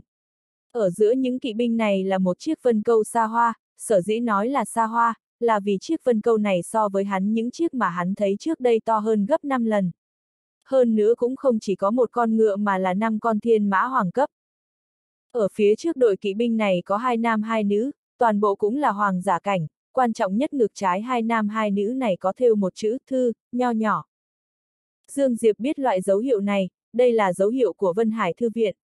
Nói cách khác, hai nam hai nữ này là người của Vân Hải Thư Viện. Dương Diệp nhìn nhóm người này, mà ánh mắt của nhóm người này cũng hướng vào người hắn. Tên xấu xí, ngươi nhìn gì thế, chưa gặp mỹ nữ bao giờ à? Đột nhiên, một nữ tử mặc khôi giáp màu đỏ của Vân Hải Thư Viện quát Dương Diệp. Dương Diệp hơi ngẩn ra, ánh mắt vốn đã thu hồi lại một lần nữa chiếu lên người nữ tử váy đỏ, nữ tử váy đỏ khoảng 20 tuổi, dung mạo thanh tú, dáng người nóng bỏng, không bằng đám người mục hàn san và hiểu vũ tịch, nhưng quả thật cũng được gọi là mỹ nữ. Dương Diệp hơi trầm ngâm, sau đó lấy ra hộp kiếm ngô nham trung tặng cho hắn rồi đeo lên lưng. Cổ kiếm trai. Nhìn thấy cảnh này, sắc mặt của đám người đó lập tức biến đổi. Nhìn phương hướng mà chư vị đang đi, chắc là muốn tới vô song thành à. Dương Diệp hỏi. Thấy Dương Diệp là đệ tử của cổ kiếm trai, sắc mặt đám kỵ binh hoàng giả cảnh hơi dễ coi hơn một chút, vẻ đề phòng và khinh thị trong mắt cũng ít đi rất nhiều. Một kỵ binh đầu lĩnh trong đó nói. Tại hạ là phó thống lĩnh dư cương của vô song thành, không biết các hạ là phong nào của cố kiếm trai. Cấm quân vô song thành. Dương Diệp hơi ngẩn ra, hắn không ngờ những kỵ binh trước mắt này là người của vô song thành. Lập tức nói. Thiên kiếm phong, Diệp Dương. Thiên kiếm phong. Thần sắc lạnh lùng của Dư Cương hơi dịu đi, nói. Thì ra là đệ tử của cổ chân nhân, Diệp Huynh là muốn tới vô song thành à. Dương Diệp gật đầu. Dư Cương trầm ngâm một thoáng, sau đó nói. Nếu Diệp Huynh không sợ phiền toái thì chúng ta có thể đi chung. Ta nói trước, chuyến đi tới vô song thành có thể sẽ không được an bình đâu. Dương Diệp cười nói. Không sao, có phiền toái ta sẽ đi ngay. Đương nhiên, phiền toái mà hắn nói tất nhiên là chuyện thanh đạo môn, nếu người của thanh đạo môn đến tìm hắn, hắn tất nhiên không thể làm liên lụy đến những người này. Mọi người. Nghe thấy Dương Diệp nói vậy, sắc mặt đám người dư cương hơi biến đổi, những kỵ binh còn lại khi nhìn về phía Dương Diệp, ánh mắt cũng biến thành có chút lạnh lùng, còn có một tia khinh thường. Sắc mặt vốn đang nhu hòa của Dư Cương cũng lạnh lùng trở lại. Về phần bốn người của Vân Hải Thư Viện thì càng trắng trợn, không thèm che giấu ánh mắt khinh bỉ, chỉ thiếu mỗi nước nói ra miệng. Nhìn thấy vẻ mặt của mọi người, Dương Diệp cười khổ, hắn biết, lời nói của mình khiến đối phương hiểu lầm rồi, có điều hắn cũng khó mà giải thích được. Hiện tại mà giải thích thì chẳng khác nào là lấp liếm. Tuy rằng ấn tượng của đám người dư cương đối với Dương Diệp đã giảm rất thấp, nhưng vẫn dẫn Dương Diệp theo, Dương Diệp biết, đây là đối phương nể mặt cổ kiếm trai, có điều hắn cũng chẳng bận tâm, dù sao chỉ là đi nhờ xe thôi mà. Sau khi ngồi lên thiên mã, Dương Diệp không ở cùng một chỗ với đám người dư cương, mà đi ở bên phải mọi người, cách chừng 5-6 trượng. Hắn sở dĩ muốn đi nhờ, kỳ thật từ nguyên nhân bản thân không thể phi hành ra, còn có một nguyên nhân khác, đó chính là hắn mù đường, tuy rằng biết vô song thành ở hướng nào, nhưng vị trí chính xác thì không rõ. Nếu hắn tự đi thì không biết sẽ lãng phí bao nhiêu thời gian. Hiện tại, có người của vô song thành dẫn đường, hắn tất nhiên cầu còn không được. Ánh mắt Dương Diệp đảo qua trên người giám dư cương, ở đây cảnh giới cao nhất rõ ràng là dư cương này, hoàng giả cảnh đỉnh phong. Nhưng, ánh mắt hắn lại dừng ở trên người lão già mặc áo hoa lái vân câu, cảnh giới của lão già này chỉ là linh giả cảnh, bình thường không có gì nổi bật, nhưng ánh mắt hắn lại dừng trên người lão rất lâu. Đột nhiên, giống như cảm nhận được ánh mắt của Dương Diệp, lão già đột nhiên quay đầu nhìn về phía hắn, bốn mắt chạm nhau, sau một thoáng, lão già khẽ gật đầu với Dương Diệp, sau đó thì quay đầu đi. Dương Diệp nhìn chiếc vân câu đó, sau đó khóe miệng nở một nụ cười. Đúng là thú vị. Cuối cùng, ánh mắt Dương Diệp hướng về phía bốn người của Vân Hải Thư Viện. Lúc trước nghe bốn người nói chuyện, hắn biết một số tin tức về bốn người này, bốn người đều là họ sinh lớp ất của Vân Hải Thư Viện. Nhìn thấy bốn người, Dương Diệp đã có cái nhìn mới về thực lực của đệ tử Vân Hải Thư Viện, bởi vì bốn người này tuy rằng mới là hoàng giả cảnh hạ phẩm, nhưng lại là mạnh nhất trừ lão già và dư cương. Nghe nói tiêu học trưởng chết trong tay Dương Diệp, cũng không biết có đúng hay không. Phía trước, một nam tử của Vân Hải Thư viện đột nhiên nói. Dương Diệp hơi ngẩn ra, không khỏi giỏng tai lắng nghe. Từ lương, người muốn ăn quật đúng không? Nữ tử váy đỏ đột nhiên hầm hầm nhìn nam tử vừa lên tiếng, trong mắt toàn là lửa giận. Nam tử tên là Từ Lương cười cười, không dám nói nữa. Nam tử bên cạnh hắn nói. Thiên Kiều, chúng ta biết người thích tiêu học trưởng, nhưng hắn đã chết rồi. Chúng ta cũng biết người muốn báo thù cho hắn, nhưng học viện đã ban bố mệnh lệnh, trừ đệ tử cổ kiếm trai và thanh đạo môn ra, bất kỳ ai cũng không được vào chuyện giữa Dương Diệp và thanh đạo môn. Vậy thì sao, cùng lắm thì lão nương chịu bị đuổi học. Nữ tử váy đỏ lạnh lùng nói một câu, sau đó nàng ta nhìn nam tử vừa lên tiếng và từ lương, nói. Từ lương, hứa văn, ta biết hai người các ngươi yêu thầm lão nương, đừng nói ta không cho các ngươi cơ hội, các ngươi nếu ai giết được Dương Diệp đó, lão nương sẽ là nữ nhân của người đó. Ta nói được thì làm được. Hứa văn trầm giọng nói. Cổ kiếm trai đã chiêu cáo thiên hạ, đây là chuyện giữa cổ kiếm trai và thanh đạo môn, ai nếu cứ nhằm vào Dương Diệp thì chính là đối địch với cổ kiếm trai. Từ lương cũng trầm mặc. Các ngươi có còn là nam nhân hay không? Có còn chứng hay không? Khóe miệng thiên kiều lộ ra vẻ châm chọc. Sắc mặt hai nam tử có chút khó coi. Thiên kiều, đừng như vậy. Lúc này, nữ tử bên cạnh nữ tử tên là Thiên Kiều bỗng nhiên nói. Dương Diệp đó dám đá quan tài của thanh đạo môn, hắn không phải là quá tự tin, mà chuyện này được cổ kiếm trai an bài, cho nên, nếu người ngoài dám tự tiện nhúng tay vào, không nghi ngờ gì nữa sẽ thành đối nghịch với cổ kiếm trai. Đừng nói hai người bọn hứa văn, cho dù là thiên tài và yêu nghiệt của lớp giáp cũng không dám.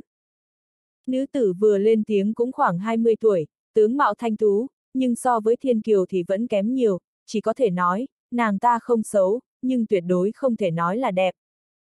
Nghe thấy lời nói của nữ tử, hứa văn và hứa lương khẽ gật đầu với nàng ta, trong mắt mang theo vẻ cảm kích. Thiên kiều lạnh lùng nhìn hai nam tử, sau đó nói. Đừng để ta gặp phải Dương Diệp, bằng không ta nhất định sẽ phế hắn, ta cũng muốn xem thử, sau khi ta phế hắn rồi, cổ kiếm trai có dám giết ta hay không? Dương Diệp nhìn đó Thiên Kiều, vừa định thu hồi ánh mắt thì Thiên Kiều đột nhiên nhìn về phía hắn, nói. Ngươi nhìn thấy gì, chưa thấy nữ nhân bao giờ à? Cái loại vừa xấu lại vừa không có thực lực như ngươi, chắc là chưa bao giờ được chạm vào nữ nhân. Nói xong, nàng ta không ngờ cởi khôi giáp trước ngực ra, để lộ bộ ngực trắng ngần, nói. Có phải đẹp lắm không? Có phải kích thích lắm không? Có phải rất muốn chơi ta hay không? Dương Diệp thật sự có chút đờ đẫn. Mà những kỵ binh chung quanh thì giống như là đã quen lắm rồi, bởi vậy đều coi như không thấy. Thiên Kiều kéo lại khôi giáp, sau đó châm chọc.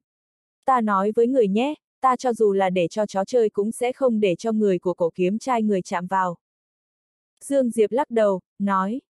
Trước kia ta từng nghe thế gian này có hoa lạ, có điều vẫn chưa có duyên nhìn thấy, hôm nay cuối cùng cũng được thấy rồi. Nói xong, hắn nhìn về phía đó hứa văn và từ lương, nói. Ta không hiểu, hai người các ngươi mắt không mù mà sao lại đi yêu thầm nàng ta. Đám người dư cương ở bên cạnh buồn cười quá, thiếu chút nữa thì cười ra tiếng, có điều giống như cố kỵ gì đó, đều cố nén lại. Chúng ta không phải thế mà. Hứa văn quính quá liền thốt lên. Không phải à. Dương Diệp gật đầu, nói. Thì ra nữ nhân này đang tự kỷ. Cũng đúng, loại nữ nhân này nếu thật sự trở thành nữ nhân của các ngươi rồi thì không biết sẽ cắm bao nhiêu cái sừng lên đầu các ngươi nữa. Hơn nữa nói không chừng, cắm sừng cho các ngươi còn không phải là người, mà là chó. Các ngươi nghe thấy rồi đấy, nàng ta thả cho chó chơi còn hơn. Chật chật, khẩu vị này nặng quá. Phì. Ở bên cạnh, một kỵ binh không nhìn được nữa liền bật cười, có điều lại bị dư cương hậm hực lườm cho một cái. Nhưng hắn lại không nhịn được, sau đó nói. Dư thống lĩnh, ta đi vệ sinh. Ta cũng đi vệ sinh. Ta cũng vậy. Rất nhanh, hơn 10 kỵ binh trẻ tuổi toàn bộ đều đi, vệ sinh, chỉ lát sau, xa xa liền truyền đến tiếng cười to. Thiên Kiều cưỡi thiên mã chậm rãi đi về phía Dương Diệp, thấy vậy, mấy người Dư Cương và Hứa Văn đều cau mày.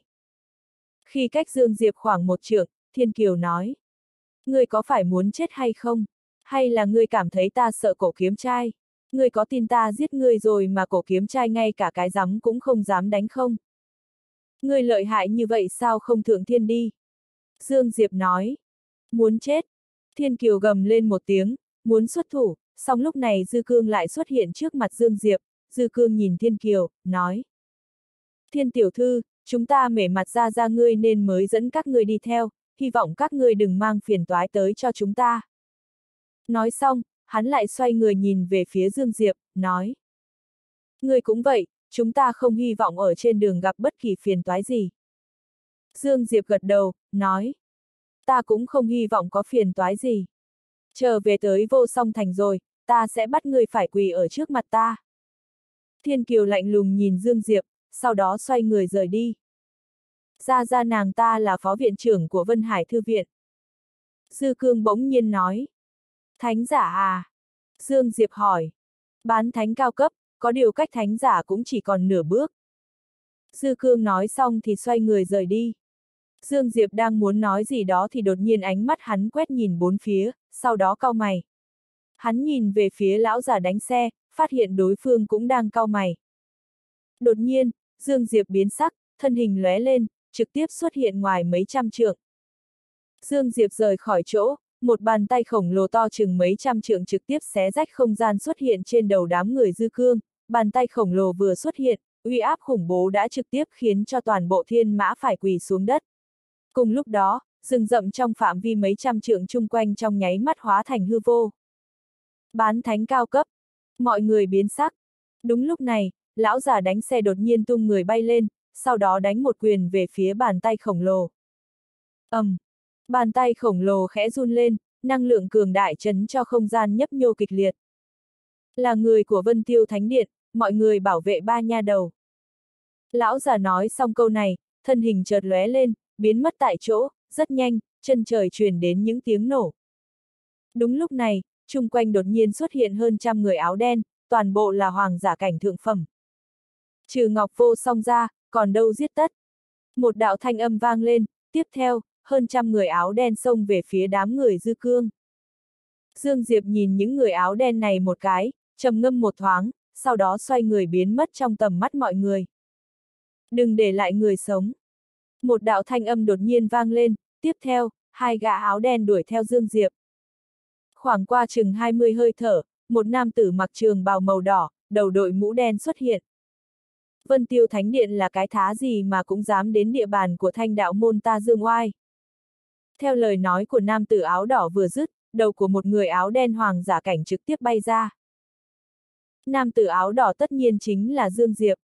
Kỳ thật, hắn lúc ban đầu cũng không muốn nhúng tay vào chuyện của Vân Tiêu Thánh Điện và Vô Song Thành, cho nên hắn lựa chọn rời đi, nhưng đáng tiếc là Vân Tiêu Thánh Điện này không muốn để lại người sống. Đương nhiên, quan trọng nhất là hắn nhìn Vân Tiêu Thánh Điện không vừa mắt. Giam giữ An Nam Tĩnh đã không muốn nói, không ngờ còn muốn cưới An Nam Tĩnh. Có thể nói, vào giây phút biết rằng thiếu điện chủ gì đó của Vân Tiêu Thánh Điện muốn ép cưới An Nam Tĩnh, hắn đã không có thiện cảm với Vân Tiêu Thánh Điện. Cho nên, sau khi giết hai người đó của Vân Tiêu Thánh Điện, hắn liền quay lại. Ảnh độn sát. Dương Diệp vừa dứt lời, một luồng sáng đỏ lóe lên, đầu của hai người áo đen hoàng giả cảnh trực tiếp bay đi. Dương Diệp đang muốn động thủ thì lúc này một người áo đen xuất hiện trước mặt Dương Diệp.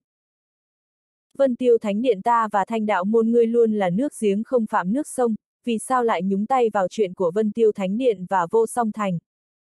Nhìn Vân Tiêu Thánh Điện ngươi ngứa mắt. Dương Diệp gầm lên một tiếng, chân phải đột nhiên dậm một cái, cả người bắn ra, chủy thủ trong tay mang theo một đạo hàn mang chém về phía yết hầu của người áo đen. Chỉ bằng vào thanh đạo môn ngươi à.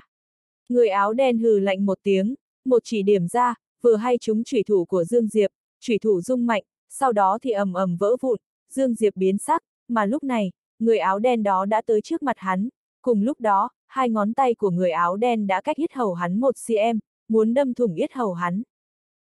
Phản ứng của Dương Diệp không chậm, mũi chân nhẹ nhàng điểm xuống đất, sau đó cả người lướt ra sau xa mấy trượng, nhưng ngay sau đó, cả người hắn lại như mũi tên rời cung bắn tới. Chết đi! Theo thanh âm của Dương Diệp vừa dứt, chân Dương Diệp mang theo tiếng khí nổ bén nhọn hung hăng đá về phía người áo đen đó.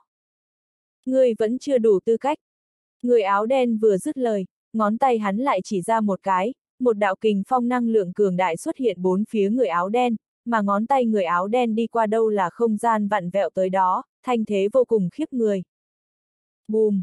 Chân và ngón tay chạm nhau, một tiếng nổ vang lên, lực lượng cường đại khiến cho không gian ở vị trí hai người tiếp xúc trong nháy mắt bị chấn vỡ.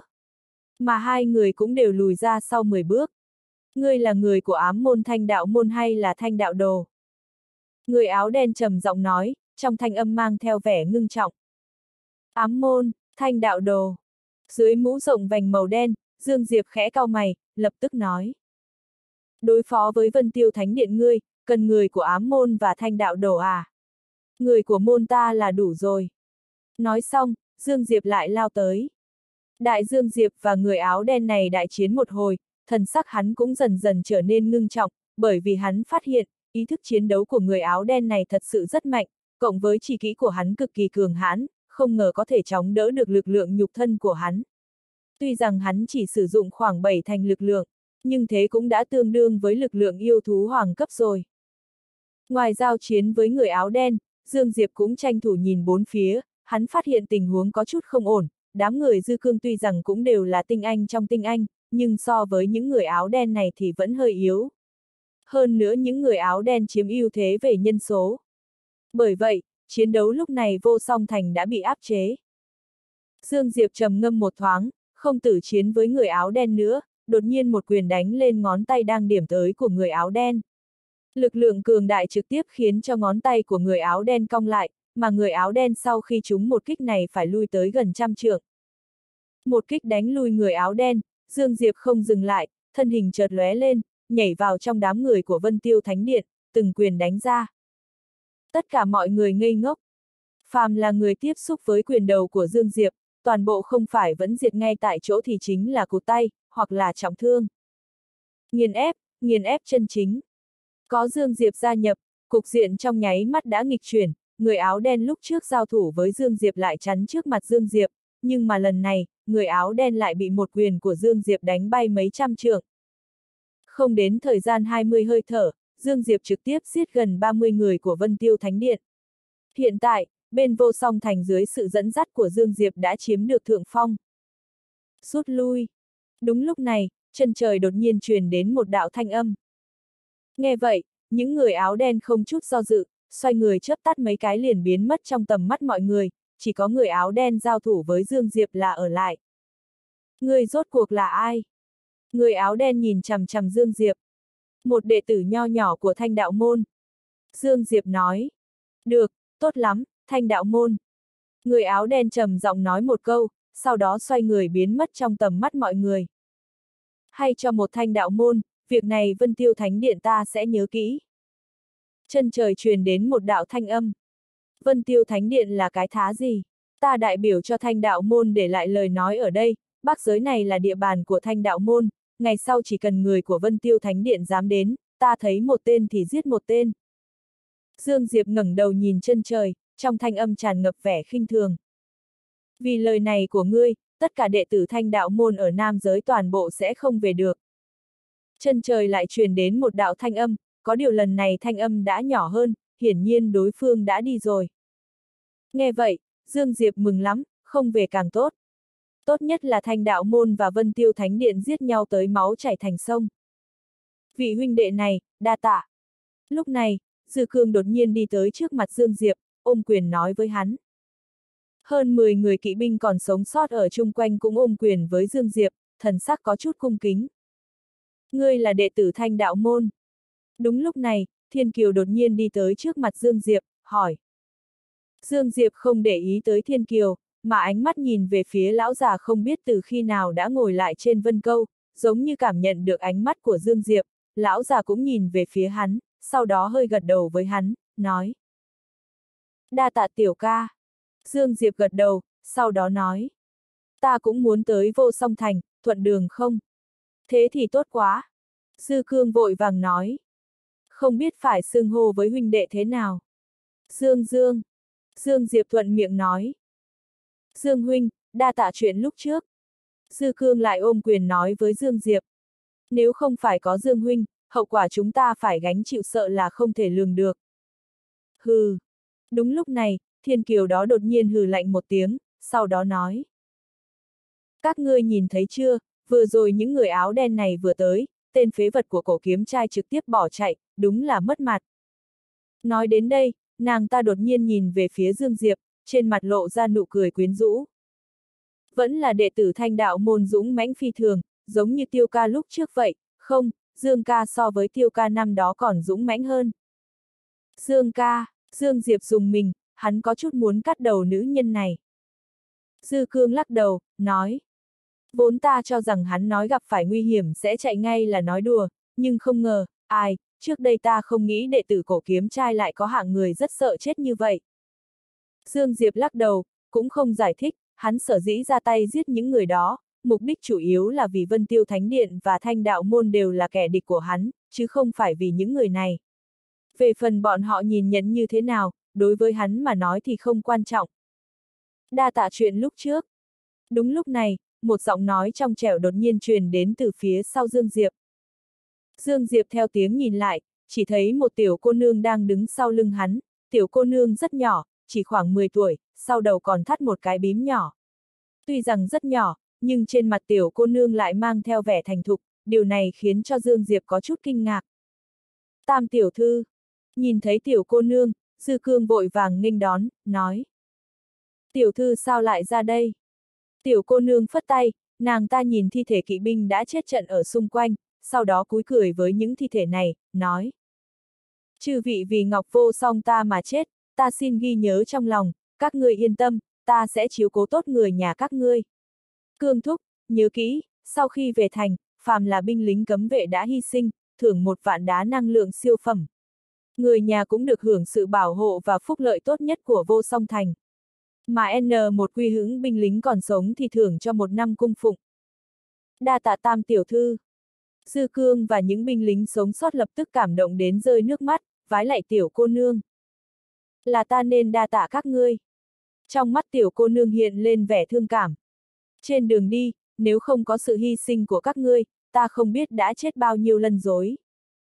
Bảo hộ tam tiểu thư là chức trách của mỗi người trong vô song thành.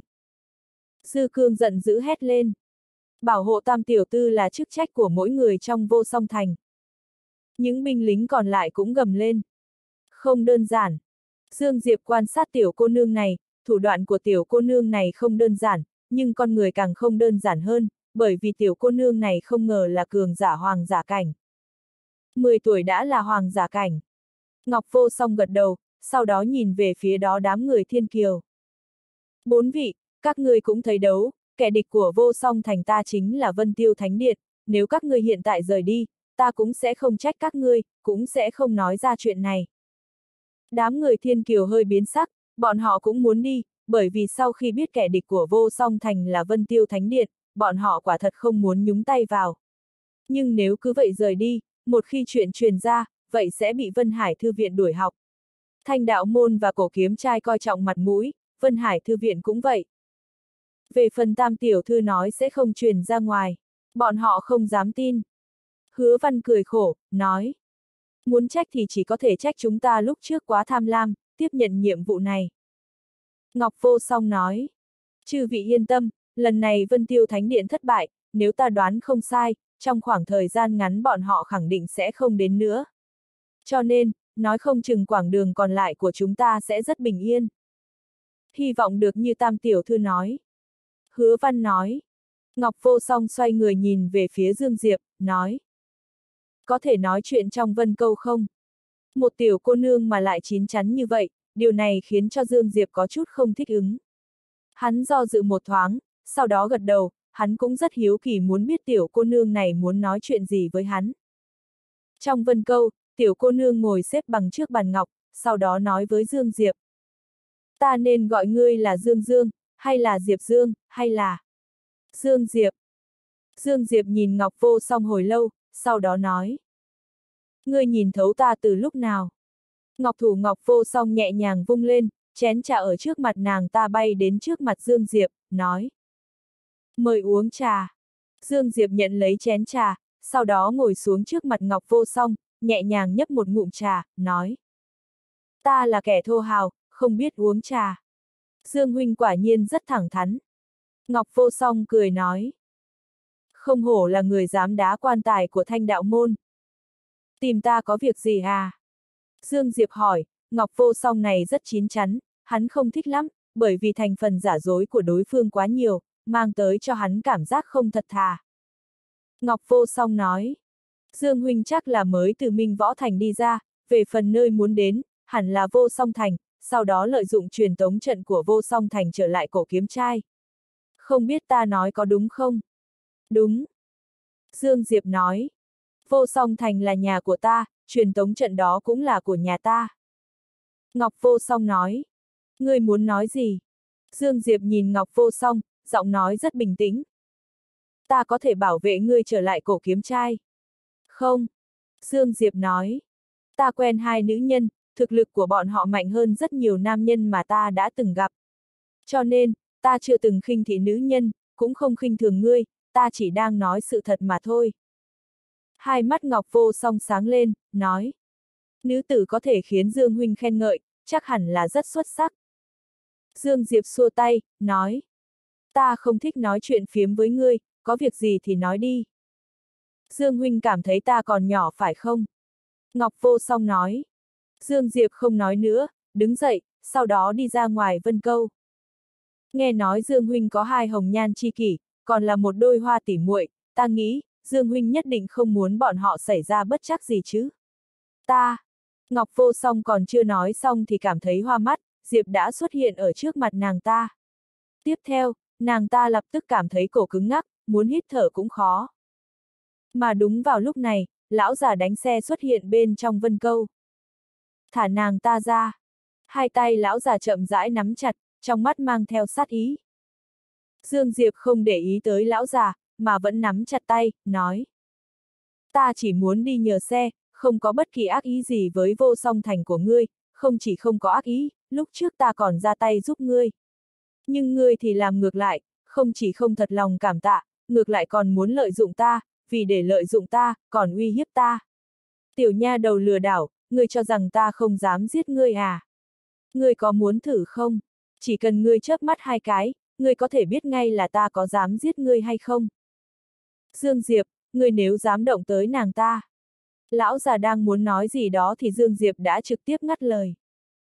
Ngươi nói thêm một chữ là ta sẽ bẻ cổ nàng ta, ngươi có muốn thử không? Sắc mặt lão già trầm xuống, môi run run, trung quy cuối cùng không dám nói gì. Cả khuôn mặt ngọc vô song đều trở nên tím tái, tay Dương Diệp lại không hề có dấu hiệu thả lòng, lão già hai tay nắm chặt, nhưng không dám động thủ. Nhìn ngọc vô song một lúc, Dương Diệp đột nhiên buông tay, ngọc vô song trực tiếp ngã xuống đất, hít thở phì phò, lão già liền muốn động thủ, ngọc vô song lại xua tay, nói. Lý Thúc, người ra ngoài đi. Lão già nhìn Dương Diệp, lại nhìn Ngọc Vô Song, cuối cùng, lão gật đầu, sau đó lui ra ngoài. Xem ra ta đã tính sai tính cách của ngươi rồi. Ngọc Vô Song nói. Cũng xem nhẹ đảm lượng của ngươi, biết rõ bên ngoài có bán thánh cao cấp, ngươi vẫn dám động thủ. Không thể không nói, đảm lượng này của ngươi thật sự rất lớn. Dương Diệp đi đến trước mặt Ngọc Vô Song, sau đó cười khẽ, nói. Vừa rồi rõ ràng có sợ, nhưng lại giả vờ như không sợ. Ngươi sống thật sự là mệt quá đấy. Nói xong, Dương Diệp xoay người ra khỏi vân câu. Dương Diệp không nhìn thấy, Ngọc Vô Song sau khi hắn nói xong câu đó thì cứng đờ tại chỗ, giống như bị điểm huyệt. Ra khỏi, lão già đó liền chắn trước mặt Dương Diệp. Dương Diệp nói, đừng đùa nữa, hiện tại đừng nói ngươi, cho dù là thánh chủ của Vân Tiêu Thánh Điện muốn giết ta, cổ kiếm trai cũng sẽ không đồng ý. Cho nên, ngươi hai là bớt chút khí lực và nước bọt đi. Nói xong, thân hình Dương Diệp lóe lên, trực tiếp vòng qua lão già, ngồi lên thiên mã của mình. Dương Diệp vừa ngồi xuống thiên mã, thiên kiều đã cưỡi thiên mã đi tới bên cạnh hắn. Ngươi cầm miệng cho ta, bằng không ta sẽ không nhịn được mà tát ngươi đó. Dương Diệp thật sự không muốn phí nước bọt với nữ nhân này. Thiên Kiều lại không tức giận, ngược lại còn cười nói. Quả nhiên, nam nhân của thanh đạo môn các người đều cường thế, ta thích loại nam nhân cường thế như người, giống như tiêu học trưởng lúc trước. Tay phải Dương Diệp từ từ nắm chặt, ngay khi hắn chuẩn bị đấm một quyền vào mặt nữ nhân này thì Ngọc Vô Song đột nhiên cưỡi thiên mã đi tới bên cạnh hắn, sau đó cười nói. Dương Huynh hãy nghĩ cho kỹ, gia gia của thiên tiểu thư này không chỉ là chuẩn thánh giả, mà bà ngoại của nàng ta cũng là một trong thất thánh của Vân Hải Thư Viện, đó là thánh giả hàng thật giá thật đấy. Hơn nữa, gia gia và nãi nãi của nàng ta cực kỳ bao che khuyết điểm, nếu ai khi dễ thiên tiểu thư, gia gia và nãi nãi của nàng ta khẳng định sẽ bất chấp tất cả mọi giá để báo thù cho nàng ta. Thiên Kiều cười ngạo nghễ, nói. Đúng vậy, ở cảnh nội Thanh Châu này, ai dám khi dễ ta? Đúng rồi, Dương Diệp đó, hừ, hắn dám giết tiêu vũ học trưởng, đừng để ta gặp phải hắn, bằng không ta nhất định sẽ phế hắn, khiến hắn cả đời phải làm thái giám. Thiên Kiều, ai lại khi dễ người thế? Đúng lúc này, xa xa đột nhiên truyền đến một tiếng cười to, tiếp theo, một nam tử mặc áo bào trắng từ xa bay tới. Lúc đầu, nam tử mặc áo trắng vẫn còn ở ngoài nghìn trường, nhưng ngay sau đó, nam tử mặc áo trắng đã xuất hiện trước mặt đám người Dương Diệp. Húc vô sinh học trưởng. Nhìn thấy nam tử mặc áo trắng, đám người Vân Hải Thư viện kinh hãi. Mà Thiên Kiều thì trực tiếp xông tới ôm lấy húc vô sinh, sau đó trong ánh mắt của mọi người, trực tiếp hôn lên miệng nam tử mặc áo trắng đó. Người của Vân Hải Thư viện có chút xấu hổ, nhưng cũng không dám nói gì. Húc vô sinh, nhìn thấy nam tử mặc áo trắng, trong mắt Ngọc Vô Song hiện lên vẻ kinh ngạc, sau đó nàng ta nhìn Dương Diệp, nói. Húc vô sinh này là thiên tài siêu cấp của thế hệ trẻ tuổi Vân Hải Thư viện, trong thế hệ trẻ tuổi của Vân Hải Thư viện, hắn ít nhất có thể xếp trong 10 thứ hạng 10. Ngọc cô nương nói đùa rồi. Lúc này, húc vô sinh đó đột nhiên dắt tay Thiên Kiều đi tới trước mặt Ngọc vô song, nói. Chỉ là hư danh thôi, so với lục uyển nhi của cổ kiếm trai, thanh đạo phu của thanh đạo môn, hư vô thần của vô cực ma tông, còn có thiểu điện chủ của vân tiêu thánh điện, ta vẫn còn kém xa. Ngọc vô song mỉm cười, nói. Húc công tử khiêm tốn quá, lần này húc công tử tới, chắc là để đón đám người thiên cô nương à.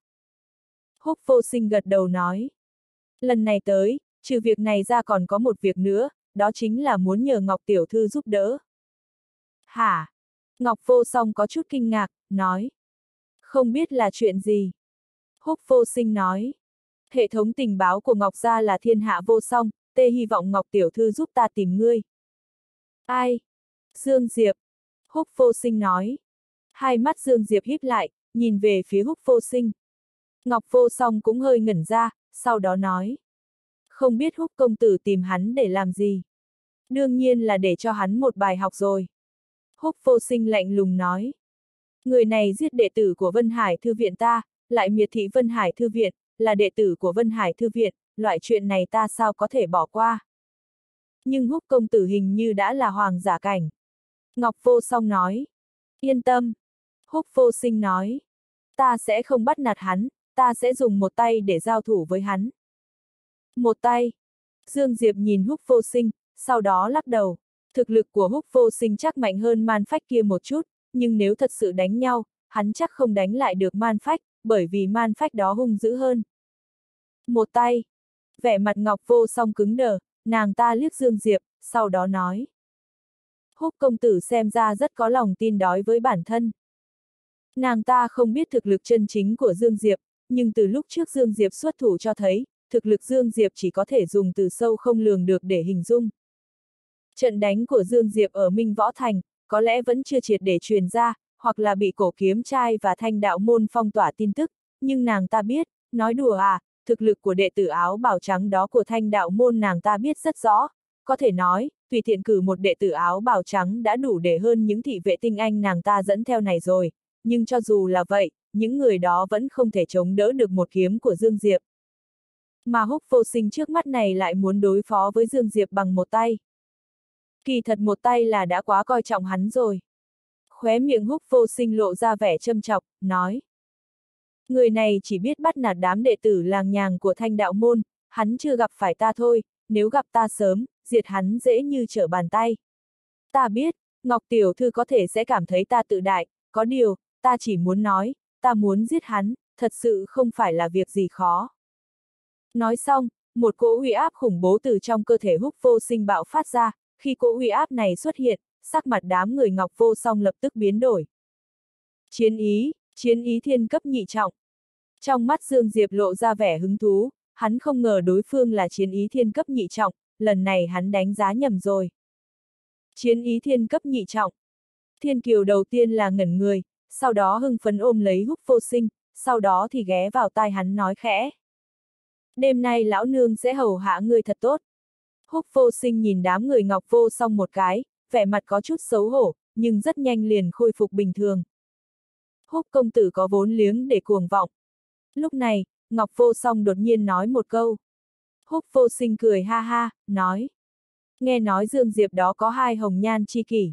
Cũng nhờ Ngọc Tiểu Thư tra xét nơi hạ lạc của họ giúp ta, tốt nhất là tìm thấy bọn họ trước khi Dương Diệp tìm tới, ta muốn Dương Diệp phải thấy nữ nhân của mình phải chịu nhục ở trước mặt hắn, ta muốn thế nhân biết rằng, kết cục đắc tội với Vân Hải Thư viện ta so với đắc tội với thanh đạo môn thì khủng bố hơn gấp 10 lần.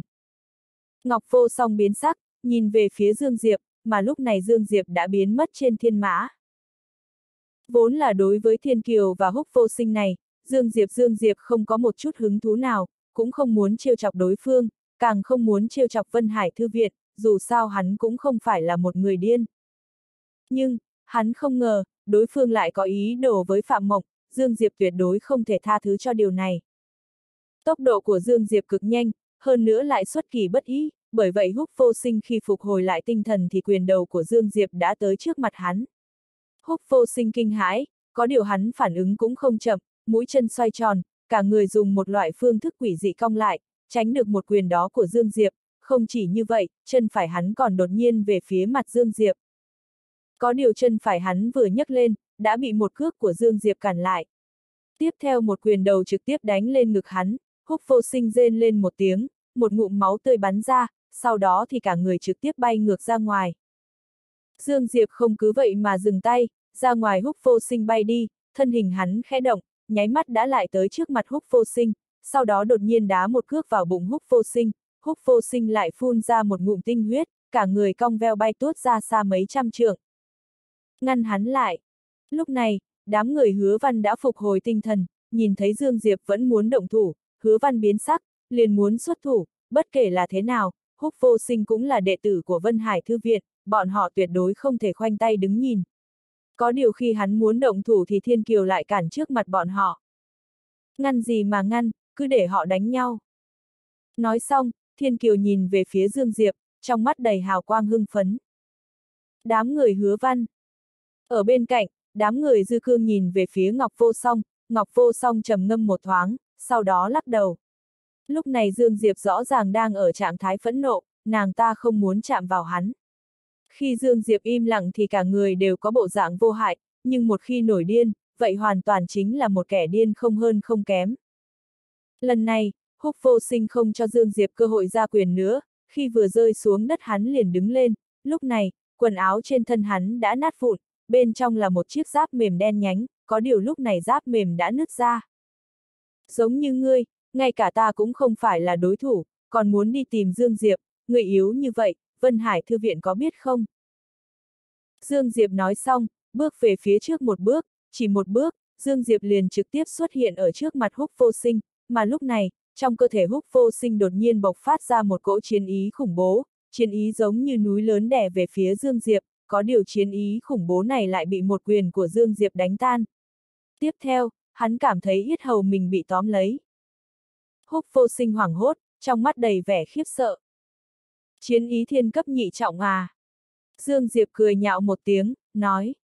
Chiến ý phù phiếm, ngay cả chiến ý thiên cấp nhất trọng cũng không được tính, nực cười. Dương Dương. Đúng lúc này, Thiên Kiều ở bên cạnh bỗng nhiên nói. Ngươi đã thắng rồi, thả hắn ra.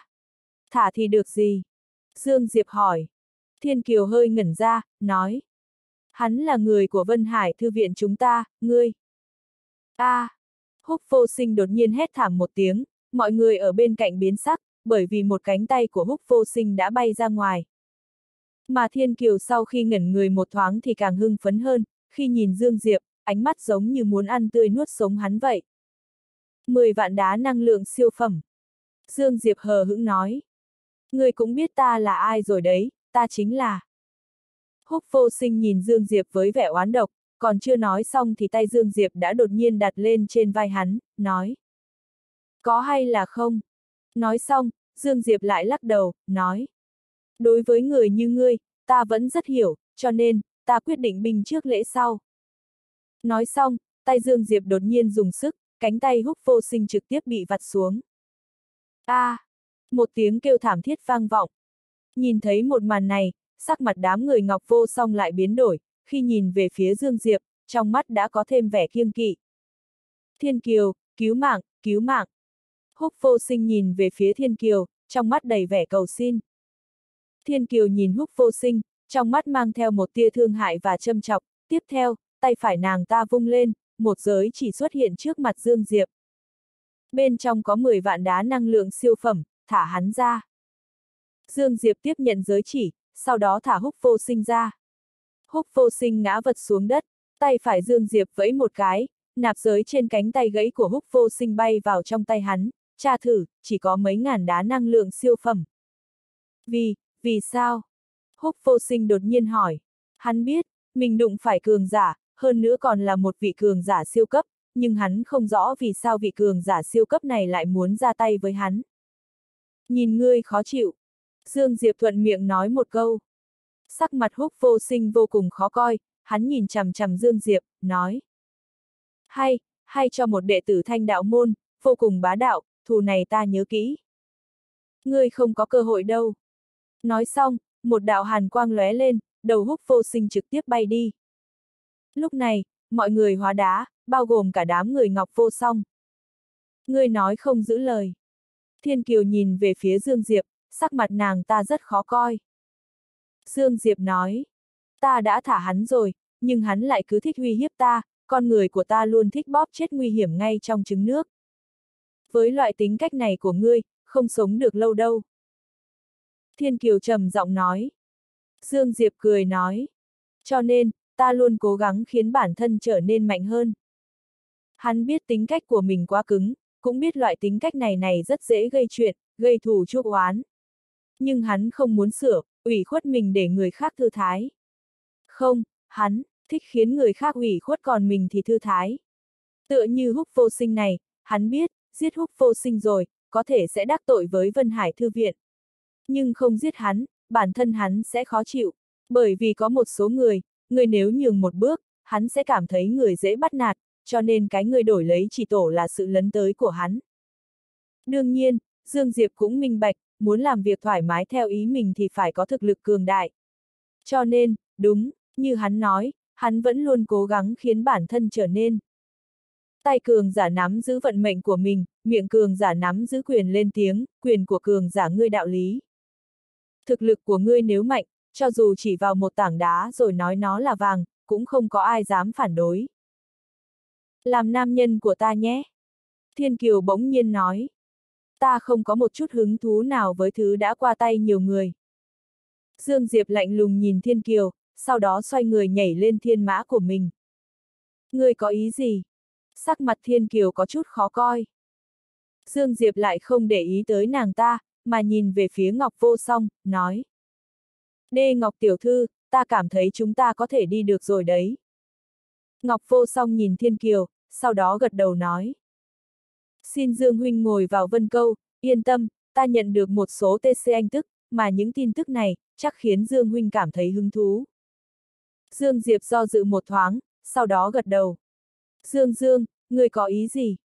Lúc này, đó Thiên Kiều đột nhiên cản trước mặt Dương Diệp, nói. Chỉ nam nhân các người được phép chơi nữ nhân, còn không cho nữ nhân chúng ta chơi nam nhân à? Ngươi! Dương Diệp đột nhiên xuất hiện trước mặt Thiên Kiều, sau đó bóp lấy cổ nàng ta, nói. Đầu tiên, ngươi muốn chơi ai, đó là quyền tự do của ngươi, ta không có hứng thú quan tâm. Nhưng, ngươi đừng có lải nhải ở trước mặt ta được không? Ta rất muốn một quyền đánh nát đầu ngươi, nhưng nghĩ lại thì thấy nên bỏ đi, bởi vì ta thật sự không muốn đánh một đứa trẻ như ngươi rồi sau đó để người lớn nhà ngươi tới tìm ta. Ta hiện tại, thật sự rất bận, thật sự không có thời gian chơi với gia gia nãi nãi ngươi. Nhưng ngươi nếu cứ lại nhảy trước mặt ta thì ta sợ ta sẽ không nhịn được nữa đâu. Nói xong, Dương Diệp thả tay, Thiên Kiều lập tức ngã xuống đất. Ngươi, ngươi dám đối đãi với ta như vậy. Trong mắt Thiên Kiều hiện lên vẻ dữ tợn, nhưng Dương Diệp lại không để ý nàng ta, trực tiếp đi theo Ngọc Vô Song vào Vân Câu. ngươi đã thương lòng tự tôn của nàng ta như vậy, không sợ nàng ta trả thù à? Thực lực của nàng ta tuy rằng không mạnh, nhưng lại có rất nhiều nam nhân ở Vân Hải Thư Viện, dù sao Gia Gia và nãi nãi của nàng ta cũng có chức vị quan trọng ở Vân Hải Thư Viện, giữ mối quan hệ tốt với nàng ta sẽ có rất nhiều lợi ích ở Vân Hải Thư Viện. Hơn nữa nàng ta trông cũng xinh mà. Ngọc Vô Song nói. Nói chuyện chính đi. Dương Diệp nói. Ngọc Vô Song mỉm cười, nói. Được, vậy nói chuyện chính. Có hai chuyện, thứ nhất, ở Nam Giới, Vân Tiêu Thánh Điện đột nhiên ra tay với thanh đạo môn, hơn một ngàn đệ tử thanh đạo môn toàn bộ bị thanh tẩy, không còn một người sống. Thanh đạo môn vì trả thù, cũng thanh tẩy rất nhiều người của Vân Tiêu Thánh Điện ở Bắc Giới. Chúc mừng ngươi, mưu kế của ngươi đã thành công, hiện tại Vân Tiêu Thánh Điện và Thanh Đạo Môn đang ở trạng thái đối địch rồi. Vân Tiêu Thánh Điện vì sao muốn bắt ngươi? Dương Diệp đột nhiên hỏi. Hắn biết, Vân Tiêu Thánh Điện sở dĩ trả thù Thanh Đạo Môn như vậy, là vì hắn đã phá hủy kế hoạch của bọn họ. Nói cách khác, nữ nhân trước mắt này rất quan trọng với Vân Tiêu Thánh Điện. Bởi vậy Vân Tiêu Thánh Điện mới trả thù Thanh Đạo Môn. Sắc mặt Ngọc Vô Song hơi trầm xuống, sau đó nói. Bởi vì thể chất của ta rất đặc thù, cho nên, thiếu điện chủ của Vân Tiêu Thánh Điện muốn bắt ta làm lô đỉnh. Lô đỉnh. Dương Diệp hơi biến sắc, chẳng lẽ thiếu điện chủ của Vân Tiêu Thánh Điện muốn kết hôn với An Nam Tĩnh và Mục Hàn San cũng vì chủ ý này. Nghĩ vậy, trong mắt Dương Diệp không khỏi lộ ra sát ý lạnh lẽo. Ngọc Vô Song lắc đầu, nói. Không nói chuyện này nữa, còn có một chuyện, cũng có liên quan tới ngươi. Ta nói ra, ngươi chớ xung động đấy. Chuyện gì? Dương Diệp cau mày. Ngọc Vô Song trầm mặc hồi lâu, sau đó nói. Hai nữ nhân đó của ngươi chỉ sợ sẽ gặp nguy hiểm. Bởi vì theo tin tức ta nhận được, trong thanh đạo môn hình như có cường giả sẽ xuất thủ với hai nữ nhân của ngươi. Về phần nguyên nhân chắc người biết. Đúng lúc này, Ngọc Vô Song lại nhíu mày, giống như nghe thấy gì đó. Một lúc sau, nàng ta ngẩng đầu nhìn về phía Dương Diệp nói. Hai nữ nhân của ngươi mười hơi thở trước đã lọt vào tay khổng liếm, kẻ còn được gọi là tử thần. Hai mắt Dương Diệp chậm rãi nhắm lại, nói. Xem ra ta vẫn chưa đủ độc ác, nàng ta ở đâu? Minh Võ Thành. Ngọc Vô Song nói. Coi như ta nợ ngươi một phần nhân tình. Nói xong, Dương Diệp xoay người bước đi. Ngươi không trở về cổ kiếm trai à? Ngọc Vô Song vội vàng hỏi. Không, sau khi giải quyết xong việc ta sẽ tới thanh đạo môn. Thanh âm truyền đến, nhưng Dương Diệp đã ở xa ít nhất mấy trăm dặm. Cửa thành minh võ thành. Trên đường thành, thi thể của người thanh đạo môn vẫn treo ở đó. Chữ Dương Diệp để lại cũng vẫn còn, nhưng ở bên cạnh những thi thể bị treo lại có thêm một hàng thi thể, những thi thể này toàn bộ là đệ tử của cố kiếm trai, ước chừng 60 người. Mà phía dưới hơn 60 cỗ thi thể này có bốn gã đệ tử kiếm tông đang quỳ. Bốn gã đệ tử kiếm tông này chính là bốn người lâm tiêu, nhưng không có ngô nham chung. Bốn người vẫn chưa chết, chỉ là đan điền của bốn người đã bị phá, xương cốt hai đầu gối cũng vỡ nát. Điều này đối với bốn người mà nói, so với chết còn khó chịu hơn. Ở cửa lớn dưới tường thành, một thanh niên ngồi xếp bằng, thanh niên mặc áo đay, trên cố đeo một chuỗi đầu lâu to màu trắng. Hai mắt hắn khép hờ, hai tay kết thủ ấn kỳ dị ở trước ngực, cả người giống như đang ngủ. Bên trái của thành là một nữ tử đang ngồi, chính là khổng liếm, mà hai bên nàng ta Phạm Mộng cùng Phạm Ly. Lúc này, hai nàng hai mắt vô thần, vẻ mặt đờ đẫn, giống như si ngốc, hơi có chút quỷ dị. Ở chung quanh của thành có vô số người, những người này, có người là của Minh Võ Thành, nhưng phần lớn là người của thành khác. Thanh đạo môn, báo thù tới rồi. Trong sân không biết ai nói khẽ một câu. Thực lực của thanh niên đó quả thật là khủng bố, đám người lâm tiêu được xưng là tam kiếm khách của cổ kiếm trai. Nhưng mà không đỡ nổi một chiêu của hắn. Thực lực như vậy, các ngươi nói xem, hắn có phải chính là đệ nhất thiên tài thanh đạo phu của thanh đạo môn hay không? Không đâu, thanh đạo phu từ một năm trước đã bước vào bán thánh, mà thanh niên trước mắt này chỉ là tôn giả cảnh thượng phẩm, hắn sao có thể là thanh đạo phu? Và lại, với sự cao ngạo của thanh đạo phu, trừ phi Dương Diệp đó đạt tới bán thánh, bằng không hắn tuyệt đối sẽ không ra mặt đối phó Dương Diệp, muốn đối phó thì nên đi đối phó Lục Uyển Nhi mới đúng. Nhưng thực lực của thanh niên này quả thật rất khủng bố. Thực lực của đám người lâm tiêu mọi người cũng thấy rồi, tuy rằng mới là tôn giả cảnh, nhưng cường giả hoàng giả cảnh bình thường căn bản không phải là đối thủ của bọn họ, nhưng mấy người bọn họ ở trước mặt thanh niên cơ hồ là không có sức hoàn thủ. Ta cảm thấy Dương Diệp đó lần này tiêu rồi. Không chỉ Dương Diệp, ta cảm thấy, rất nhiều đệ tử cổ kiếm trai đều tiêu rồi. Các ngươi xem, người áo đen đó lại kéo thi thể tới rồi. Trong sân không biết ai đột nhiên lớn tiếng nói một câu. Vô số người nhìn về xa xa, chỉ thấy một người áo đen đang kéo hơn 10 cỗ thi thể chậm rãi đi về phía mọi người, lưng những thi thể này đều đeo hộp kiếm có dấu hiệu của cổ kiếm trai. Người áo đen đi đến trước cửa thành, thuận tay ném một cái, một cái xích sắt trong tay hắn lập tức bắn lên tường thành, sau đó thì treo hơn 10 cỗ thi thể đó lên. Tiếp theo, trong ánh mắt của mọi người, người áo đen trực tiếp biến mất tại chỗ. Người áo đen này là người của ám môn thanh đạo môn, thanh niên ngồi dưới đất hẳn là thanh đạo đồ. Ở một góc nào đó, một nam tử áo hoa trầm giọng nói. Ám môn, thanh đạo đồ. Nữ tử bên cạnh nam tử áo hoa nói. Chính là hai môn thần bí nhất và cũng là mạnh nhất trong thanh đạo môn. Nam tử áo hoa gật đầu, nói. Ai, xem ra thanh đạo môn nghiêm túc thật rồi. Dương Huynh có nguy hiểm. Nam tử áo hoa và nữ tử ở bên cạnh hắn chính là Lý Mậu Trinh và Lý Thanh Y. Thanh đạo môn lần này quyết tâm muốn đòi nợ, thanh đạo môn phát ra tin tức ở toàn bộ Bắc giới, dựng lôi đài ở cửa thành Minh Võ Thành, muốn phân cao thấp với đệ tử thế hệ trẻ tuổi của cổ kiếm trai. Không đúng, không phải phân cao thấp mà là phân sinh tử. Sau khi biết được tin tức này, Lý Mậu Trinh và Lý Thanh Y lập tức chạy tới đây, không chỉ bọn họ, vô số thiên tài và huyền giả Bắc giới đều tới Minh Võ Thành. Lần này, giữa cổ kiếm trai và thanh đạo môn tuy rằng không phải là bùng nổ chiến tranh một cách công khai, nhưng không nghi ngờ gì nữa, đây tuyệt đối là một lần va chạm nghiêm trọng nhất từ trước tới nay. Thậm chí nếu làm không khéo thì hai thế lực cấp bạch kim ở Bắc giới sẽ có chiến tranh. Hai thế lực lớn này nếu đánh nhau, toàn bộ Bắc giới sẽ lập tức trở thành chiến trường, bởi vì ở Bắc giới này, tất cả thế lực dưới cấp bạch kim cơ hồ đều dựa vào cổ kiếm trai và thanh đạo môn. Có thể nói, Minh Võ Thành lúc này đã trở thành tâm điểm của tất cả thế lực Bắc giới. Cổ kiếm trai không phái người tới à? Lý Thanh Y hỏi. Lý Mậu Trinh nói. Thanh đạo môn làm ra động tĩnh lớn như vậy, cổ kiếm trai sao có thể không có phản ứng. Nếu ta đoán không sai, các đại thiên tài của cổ kiếm trai chắc đều đang trên đường tới Minh Võ Thành. Chỉ là không biết Lục Uyển Nhi đó có đến hay không, nếu nàng ta cũng đến, như vậy thanh đạo phu của thanh đạo môn khẳng định cũng tới. Nếu hai người bọn họ đến, vậy giữa thế hệ trẻ tuổi của cổ kiếm trai và thanh đạo môn nhất định sẽ có một bên gặp tổn thất thảm trọng. Tóm lại, chuyện càng lúc càng không thể vãn hồi. Cổ kiếm trai lại có đệ tử chết. Trong sân không biết ai lại hô một câu.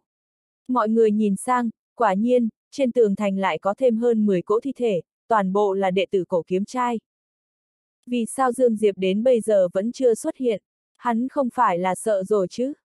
Chắc không đâu, Dương Diệp đó cũng là người hung ác, chắc không đến mức sợ hãi đâu, chắc là bởi vì có việc nên chậm trễ.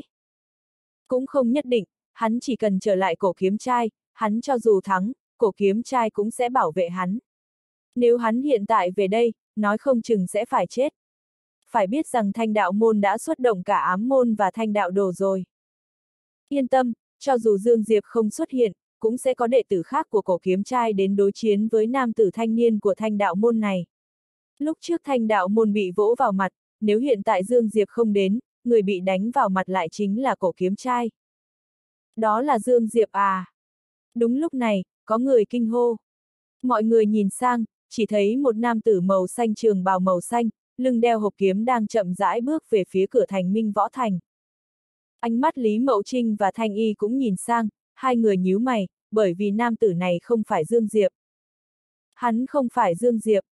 Trong sân có người biết Dương Diệp, bởi vậy, khi nhìn thấy nam tử áo xanh này thì liền xác định không phải là Dương Diệp. Lúc này, thanh niên ngồi xếp bằng ở cửa thành đột nhiên mở mắt, hắn nhìn nam tử áo xanh, sau đó nói. Ngươi không phải Dương Diệp. Thanh đạo môn ngươi không phải muốn khiêu chiến với thiên tài thế hệ trẻ tuổi của cổ kiếm trai ta sao? Cho nên, có phải Dương Diệp hay không không quan trọng, đúng không?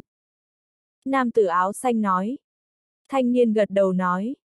Ngươi nói rất đúng, vậy ra tay đi. Ong!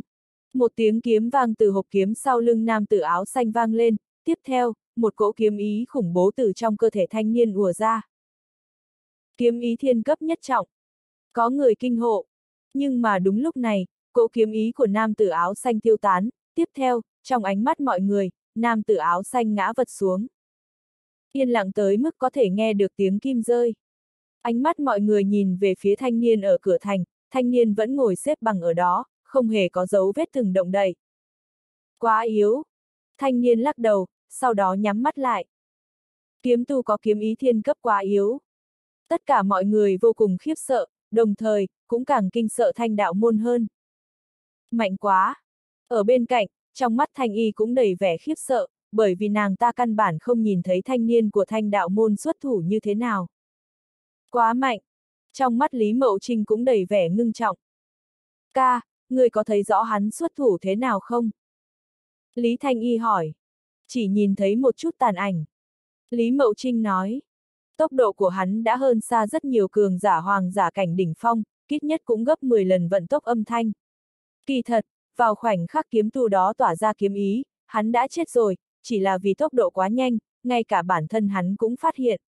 Người này là người có tốc độ nhanh nhất mà ta đã từng gặp. Nếu Dương Huynh hiện tại vẫn là thực lực lúc trước, hắn tuyệt đối không phải là đối thủ của người trước mắt này. Hắn sẽ đến chứ?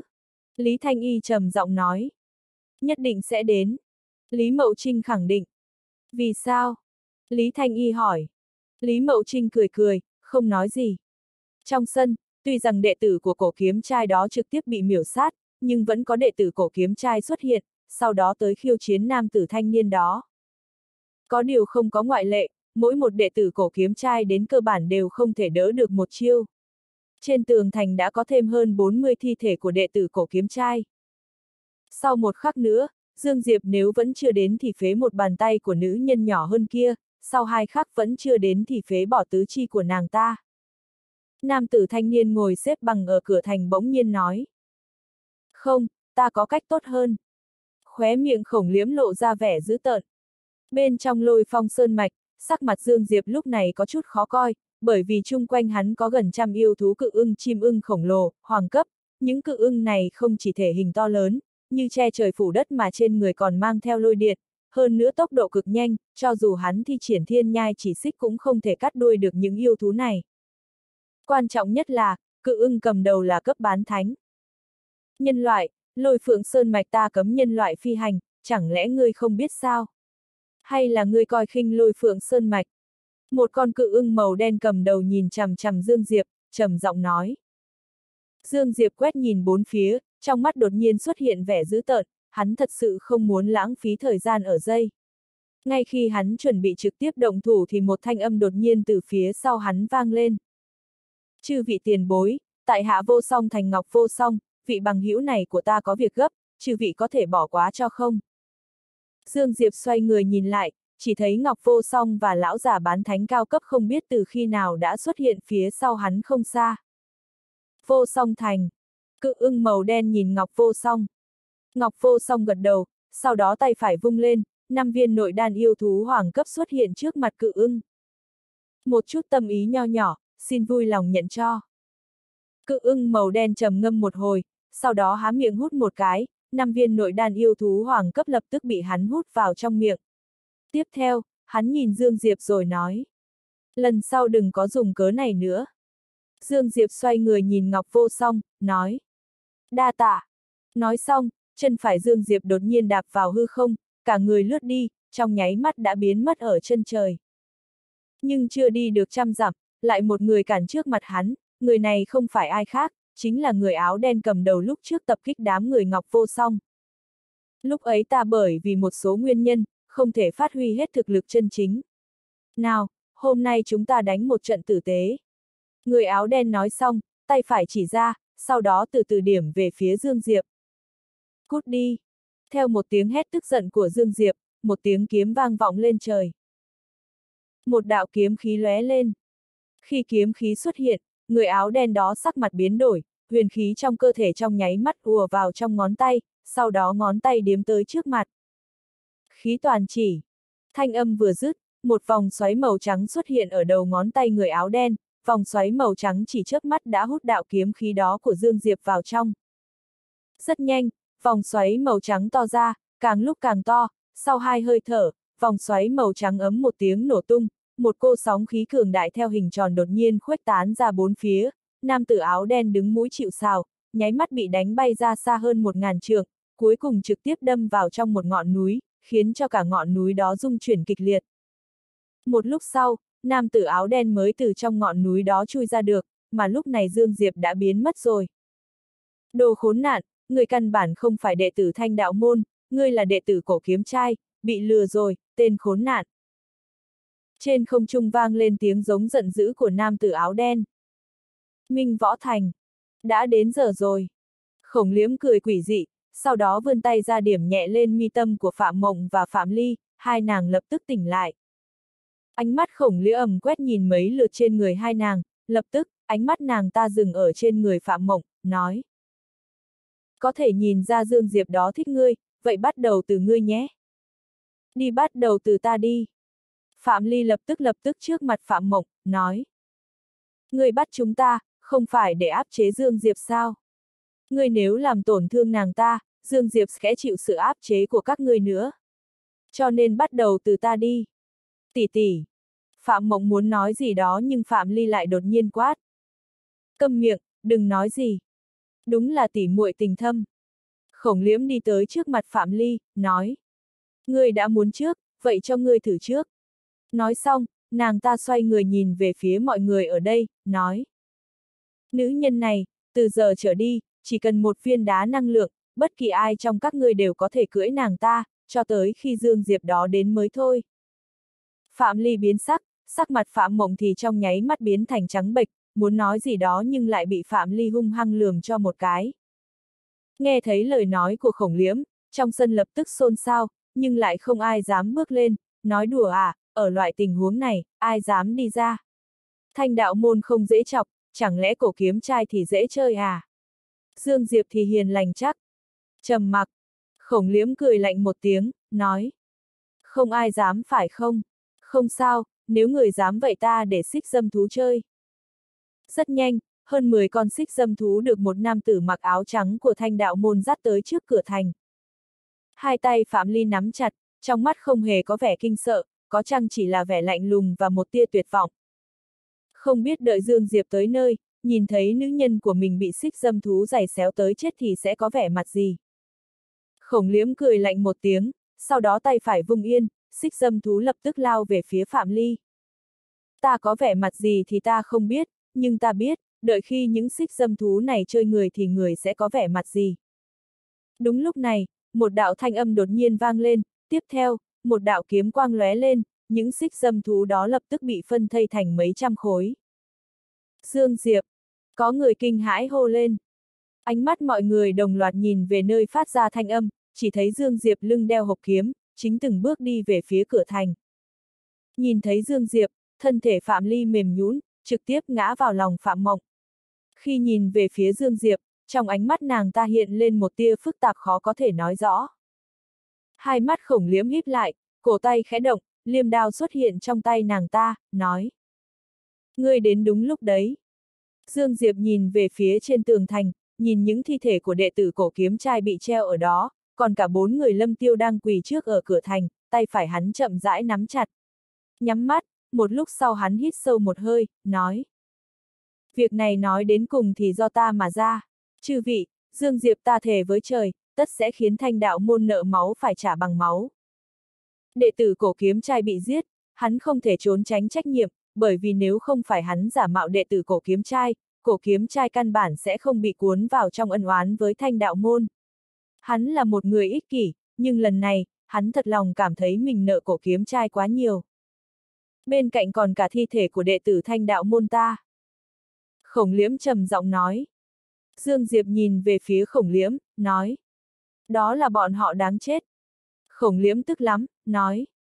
Được, hay lắm, hay cho một Dương Diệp, ta coi như đã được kiến thức sự kiêu ngạo và bá đạo của ngươi rồi. Ta hôm nay cũng muốn xem xem, ngươi có thể kiêu ngạo đến lúc nào. Tay trái Dương Diệp khẽ động, vỏ kiếm cổ xuất hiện trong tay hắn, tiếp theo, một thanh huyền kiếm đạo cấp chui vào trong vỏ kiếm cổ. Dương Diệp nói, ân oán giữa ta và thanh đạo môn bắt nguồn từ liễu sát. Ngày đó liễu sát muốn giết ta, đáng tiếc hắn thất bại, sau đó bị ta giết.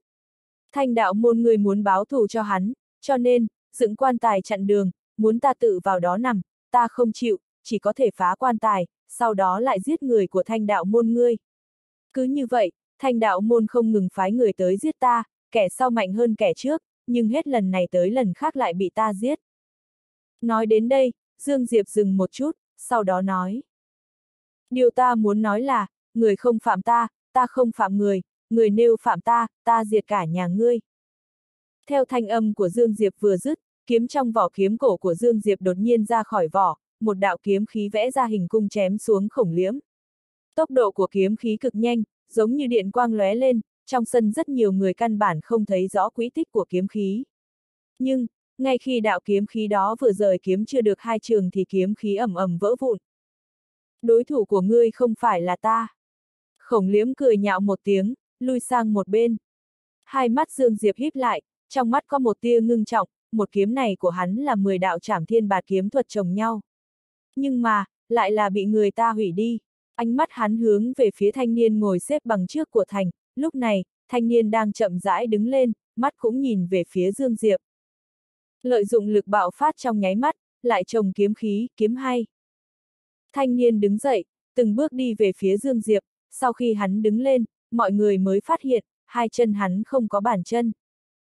Dương Diệp nói, có thể nắm bắt được quỹ tích kiếm khí của ta, lại có thể cắt đứt, chấn nổ.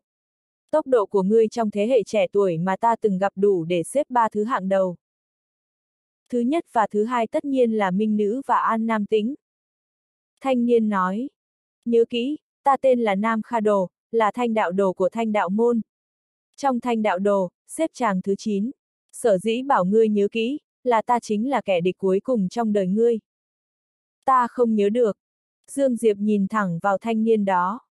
Bởi vì ta không có hứng thú nhớ tên một người chết. Nam Kha Đồ nhìn Dương Diệp một lúc, sau đó mỉm cười. Khổng liễm nói đúng, ngươi rất bá đạo, cũng rất cuồng ngạo. Ta vốn không muốn nói nhiều, nhưng cho phép ta nói thêm một chút. Đôi bàn chân này của ta không phải bị người ta phế bỏ, mà là đi nhiều nên mất. Ta từ lúc 7 tuổi, vì truy cầu chân lý võ đạo, ta đi khắp núi sông Thanh Châu, đi hết nửa Thanh Châu.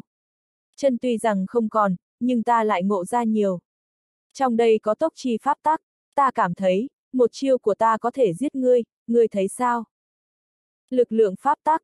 Dương Diệp không hề bất ngờ, bởi vì khi Nam Kha Đồ này xuất thủ, hắn đã đoán được, tốc độ của đối phương đã không thể gọi là tốc độ, thậm chí ngay cả năng lực cú nhảy không gian của trồn tía chỉ sợ cũng không bằng. Có thể làm được như vậy, chỉ có lực lượng pháp tắc. Trong tất cả pháp tắc của thế gian này, hiện tại hắn cuối cùng cũng gặp được một loại pháp tắc khác ngoài tiêu vong pháp tắc. Như lời Mục Hàn San nói, thanh đạo môn lúc trước kỳ thật chỉ là chơi đùa với hắn, bởi vì những người đó so với Nam Kha Đồ này thì không chỉ kém hơn một chút. Nam Kha Đồ lại nói, ta kỳ thật cũng không có hứng thú với việc giày vò ngược đãi người khác. Nhưng đáng tiếc, ngươi không chỉ giết người của thanh đạo môn ta, còn làm nhục thanh đạo môn ta. Cho nên thanh đạo môn sẽ khiến ngươi chết không nhắm mắt. Thanh đạo môn đã điều tra về lai lịch của ngươi, nhưng không tra được người nhà của ngươi, chỉ tra được hai tỷ muội phạm gia này hình như là nữ nhân của ngươi. Trước kia ngươi đối đãi với man phách thế nào, lát nữa ta sẽ đối đãi với bọn họ như vậy, mà còn là ở ngay trước mặt ngươi, cũng như trước mặt vô số đệ tử cổ kiếm trai. Tốc chi pháp tắc lợi hại lắm à? Dương Diệp cười khẽ một tiếng, nói. Ngươi đã có tự tin như vậy, không bằng chúng ta đánh cuộc nhé. Đánh cuộc thế nào? Nam Kha Đồ nói. Như vậy cũng có chút thú vị, dù sao, cứ vậy kết thúc sinh mệnh của ngươi không khỏi vô vị quá. Dương Diệp nói. Cá 10 vạn đá năng lượng siêu phẩm, cộng với sự tự do của hai tỷ muội phạm gia, thế nào? 10 vạn đá năng lượng siêu phẩm thì ta có, hai tỷ muội phạm gia cũng ở trên tay ta. Nhưng ngươi có 10 vạn đá năng lượng siêu phẩm không? Cho dù có, vậy ngươi lấy gì ra để đổi lấy hai tỷ muội phạm gia? Nam Kha Đồ nói. Dương Diệp lấy ra nạp giới chứa 10 vạn đá năng lượng siêu phẩm, nói. Trong nạp giới này có 10 vạn đá năng lượng siêu phẩm, ta không che giấu, chắc ngươi nhìn ra được. Về phần 2 tỷ muội phạm gia, vậy thế này đi, ngươi nói ra ngươi cần gì, ta xem ta có không, thế nào? Ta đột nhiên nghĩ tới, ta một chiêu giết ngươi rồi, chỗ đá năng lượng siêu phẩm này không phải sẽ là của ta sao? Nam Kha Đồ bỗng nhiên nói. Về phần vật cược khác, ta giết ngươi rồi thì ngươi còn thực hiện được à? Vậy ngươi nói vật cược đi. Dương Diệp nói. Thế này đi, một chiêu của ta nếu khiến ngươi không có sức hoàn thủ, ngươi sẽ từ đây một đường quỳ tới thanh đạo môn ta, vừa quỳ vừa kêu, Dương Diệp ta sai rồi, cổ kiếm trai ta sai rồi, thế nào? Ngươi yên tâm, cường giả của thanh đạo môn nhất định sẽ bảo vệ ngươi cho tới lúc ngươi quỳ đến cửa thanh đạo môn. Nam Kha Đồ nói. Có thể. Dương Diệp trả lời không chút do dự. Bum, Dương Diệp vừa mới dứt lời, Dương Diệp trong ánh mắt của mọi người trực tiếp bay ngược ra ngoài. Mà Nam Kha Đồ thì vẫn đứng yên tại chỗ. Cách của thành minh võ thành nghìn trường có một tòa núi nhỏ, trong ánh mắt của mọi người, cả người Dương Diệp trực tiếp đâm vào trong tòa núi nhỏ đó. Âm, cả ngọn núi rung chuyển kịch liệt, tiếp theo ầm ầm vỡ tan, nháy mắt đã bao phủ Dương Diệp. Bại rồi à? Dương Diệp không ai bì nổi đó đã bị đánh bại trong một chiêu. Ở bên cạnh, hai tỷ muội phạm ra mặt cắt không còn giọt máu, trong mắt là một mảng tĩnh mịch. Sắc mặt Lý Mậu Trinh và Thanh Y cũng trầm xuống, Dương Diệp có ơn lớn với Lý gia. Bọn họ tất nhiên không hy vọng Dương Diệp bại, nhưng hai huynh muội đều không ngờ, Dương Diệp ở trước mặt Nam Kha Đồ ngay cả sức hoàn thủ cũng không có. Thì ra yếu như vậy. Khổng liếm cười lạnh một tiếng, nói. Chư vị, các người hãy nhìn đi, đây là Dương Diệp không ai bì nổi, đây là đệ tử của cổ kiếm trai, ở trước mặt của thiên tài chân chính thanh đạo môn ta thì yếu như con kiến, thật là khiến người ta thất vọng. Hắn không kém, nhưng ở trước mặt tốc độ tuyệt đối, tất cả đều là mây bay. Nam Kha Đồ xoay người về lại trước cửa thành, ngẩng đầu nhìn những thi thể của đệ tử thanh đạo môn bị Dương Diệp treo trên đó, nó chi. Dương Diệp là bắt đầu, nhưng không phải kết thúc. Cổ kiếm trai, trò chơi chỉ mới bắt đầu, hy vọng các ngươi có thể chơi được. Ta tán thành câu nói của ngươi, trò chơi vừa mới bắt đầu. Đúng lúc này, một đạo thanh âm đột nhiên từ xa truyền đến. Con người Nam Kha đổ hơi co lại, chậm rãi xoay người, nhìn về xa xa. Không chỉ hắn, tất cả mọi người ở đây đều nhìn về phía nơi phát ra thanh âm, thấy Dương Diệp đó không biết từ khi nào đã đứng đó. Ở ngực Dương Diệp có một trường ấn màu đỏ chói, trường ấn khiến cho ngực Dương Diệp toàn bộ móp vào, thoạt nhìn có chút ghê người. Nhưng, Dương Diệp vẫn còn sống, hơn nữa còn sống sờ sờ. Phù! Nhìn thấy Dương Diệp còn sống, Phạm Ly lập tức thở phào nhẹ nhõm, ôm chặt lấy Phạm Mộng. Lần này, không chỉ Phạm Mộng rơi nước mắt, ngay cả khóe mắt Phạm Ly cũng mang theo lệ quang. Ở bên cạnh, hai huynh muội Lý Mậu Trinh cũng thở phào nhẹ nhõm, thật lòng mà nói, bọn họ thật sự không hy vọng nhìn thấy Dương Diệp thân vong. Dương Diệp là bắt đầu, nhưng không phải kết thúc, cổ kiếm trai, trò chơi chỉ mới bắt đầu, hy vọng các ngươi có thể chơi được. Ta tán thành câu nói của ngươi, trò chơi vừa mới bắt đầu. Đúng lúc này, một đạo thanh âm đột nhiên từ xa truyền đến. Con người Nam Kha đổ hơi co lại, chậm rãi xoay người, nhìn về xa xa. Không chỉ hắn, tất cả mọi người ở đây đều nhìn về phía nơi phát ra thanh âm, thấy Dương Diệp đó không biết từ khi nào đã đứng đó. Ở ngực Dương Diệp có một trường ấn màu đỏ chói, trường ấn khiến cho ngực Dương Diệp toàn bộ móp vào, thoạt nhìn có chút ghê người. Nhưng, Dương Diệp vẫn còn sống, hơn nữa còn sống sờ sờ. Phù! Nhìn thấy Dương Diệp còn sống, Phạm Ly lập tức thở phào nhẹ nhõm, ôm chặt lấy Phạm Mộng. Lần này, không chỉ Phạm Mộng rơi nước mắt, ngay cả khóe mắt Phạm Ly cũng mang theo lệ quang. Ở bên cạnh, hai huynh muội Lý Mậu Trinh cũng thở phào nhẹ nhõm, thật lòng mà nói, bọn họ thật sự không hy vọng nhìn thấy Dương Diệp thân vong. Ta đã nói rồi, Dương Diệp này sao có thể chết dễ như vậy được, ha ha, lần này có trò hay để xem rồi. Trong sân, có người nói khẽ. Đúng là có trò hay để xem. Nói đi, các người cảm thấy Dương Diệp này và Nam Kha Đồ ai sẽ thắng? Chắc là Nam Kha Đồ, bởi vì tốc độ của hắn thật sự quá nhanh, nhanh đến mức Dương Diệp chỉ sợ chỉ có nước ăn đòn. Ta cảm thấy Dương Diệp chắc còn có con bài chưa lật. Dưới cái nhìn chăm chú của mọi người, Dương Diệp đi tới cách trước mặt Nam Kha Đồ năm trưởng thì dừng lại, sau đó nói. Ngươi thua rồi. Nam Kha Đồ nhìn Dương Diệp một lúc, sau đó nói. Nhục thân mạnh thật, năm đó lục ca khi ở tôn giả cảnh nhục thân cũng không mạnh bằng ngươi, không thể không nói, ngươi khiến ta rát bất ngờ. Một kiếm tu, lại có nhục thân có thể so với yêu thú cấp bán thánh.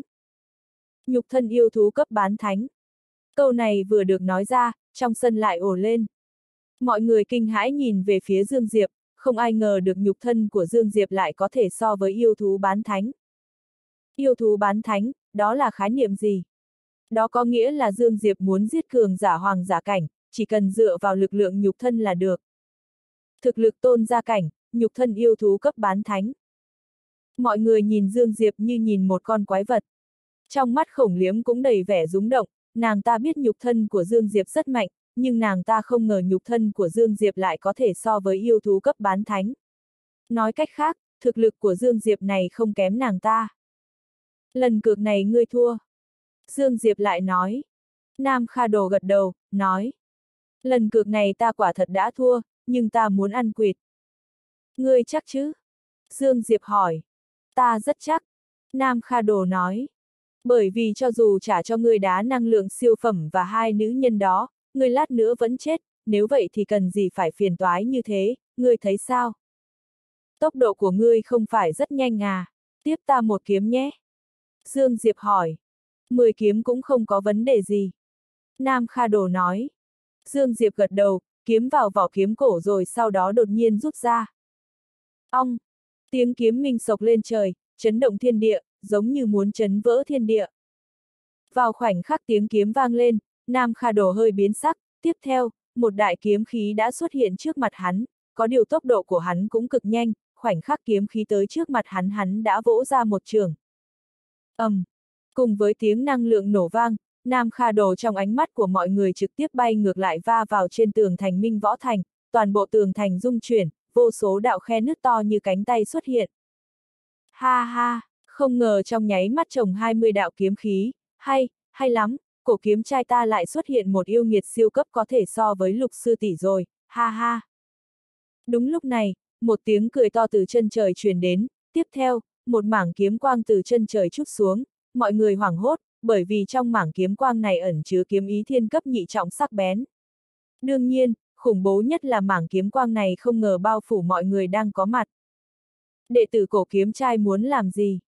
Đúng lúc này, mảng kiếm quang đột nhiên co rút lại, không đến thời gian một hơi thở đã áp xúc thành một dòng kiếm khí nhỏ như sợi tóc. Kiếm khí ở trong không trung đột nhiên quay lại, nháy mắt đã tới trước mặt khổng liễm. Khổng liễm hoảng hốt, nàng ta không ngờ người vừa tới của cổ kiếm trai lại nhắm mục tiêu vào nàng ta, cho nên có chút trở tay không kịp, có điều nàng ta phản ứng cũng không chậm, liêm đao màu đen trong tay gẩy một cái, cắt vào đạo kiếm khí đó. Bùm! Kiếm khí đánh lên liêm đao, liêm đao run rẩy, lực lượng cường đại ẩn chứa trong kiếm khí trực tiếp chấn cho khống liễm lệ bước lui ra sau, cho tới khi lưng nàng ta đập vào tường thành mới dừng lại được. Vào khoảnh khắc khổng liễm bị đánh bay, Dương Diệp cũng không nhàn rỗi, lập tức thi triển tốc độ đến cực hạn, đi tới trước mặt Phạm Mộng và Phạm Ly, muốn cứu hai nàng, mà đúng lúc này, con người Dương Diệp đột nhiên co rút lại, sau lưng hắn, không biết từ nào xuất hiện một bóng đen, cùng lúc đó, Dương Diệp lập tức cảm thấy lưng mình đau nhói, hắn biết lưng mình bị một vật nhọn xuyên thủng.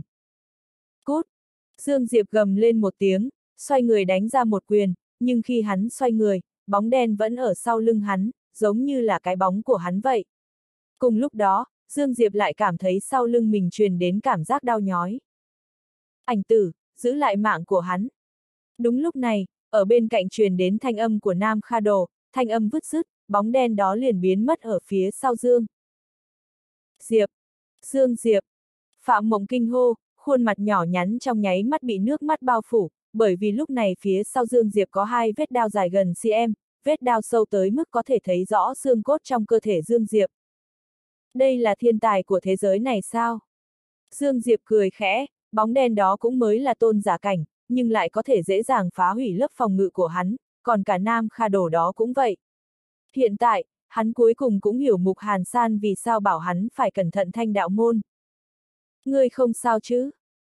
Một nam tử đi tới bên cạnh Dương Diệp, nam tử khoảng 20 tuổi, mày kiếm mắt sáng, tóc dài ngang vai, trên người tỏa ra khí tức sắc bén. Dương Diệp lắc đầu, nói. Không sao. Trần Đông, đại đệ tử thủ tịch của Thiên Kiếm Phong, theo bối phận thì ngươi nên gọi ta là sư huynh. Nam tử nói. Trần Đông, hắn chính là cuồng kiếm Trần Đông. Có người kinh hô. Hắn chính là Trần Đông từng dám chống đối cả cường giả thánh giả cảnh. Chắc là hắn rồi, nghe đồn năm đó hắn đắc tội với một thánh giả, ở trước mặt vô số người chỉ vào thánh giả kia mà tuyên bố, cho Trần Đông ta 20 năm, thánh giả cũng giết được. Từ sau đó, danh hào cuồng kiếm giã truyền khắp toàn bộ Thanh Châu.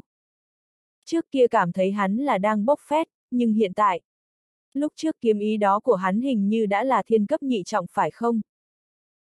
Dương Diệp nhìn Trần Đông, sau đó nói. Chuyện lúc trước, đa tạ. Trần Đông nói.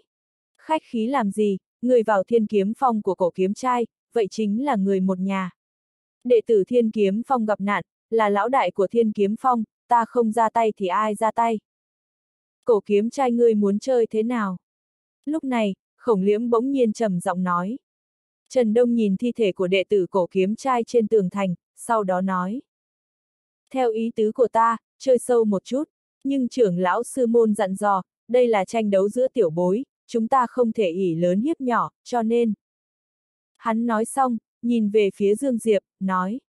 Trong tôn giả cảnh, cổ kiếm trai ta có thể đưa ra ba người, hai người còn lại sắp đến, nhưng còn cần khoảng hai canh giờ nữa, cho nên. Ta muốn chơi lớn, có được không? Dương Diệp nói. Trần Đông nhìn Dương Diệp một thoáng, sau đó nói. Không sao, lớn mấy cũng không sáo, không chỉ không sao mà càng lớn thì càng tốt. Dương Diệp gật đầu, sau đó nói. Giúp ta chiếu cố hai tỷ muội phạm gia, cẩn thận người áo đen đó.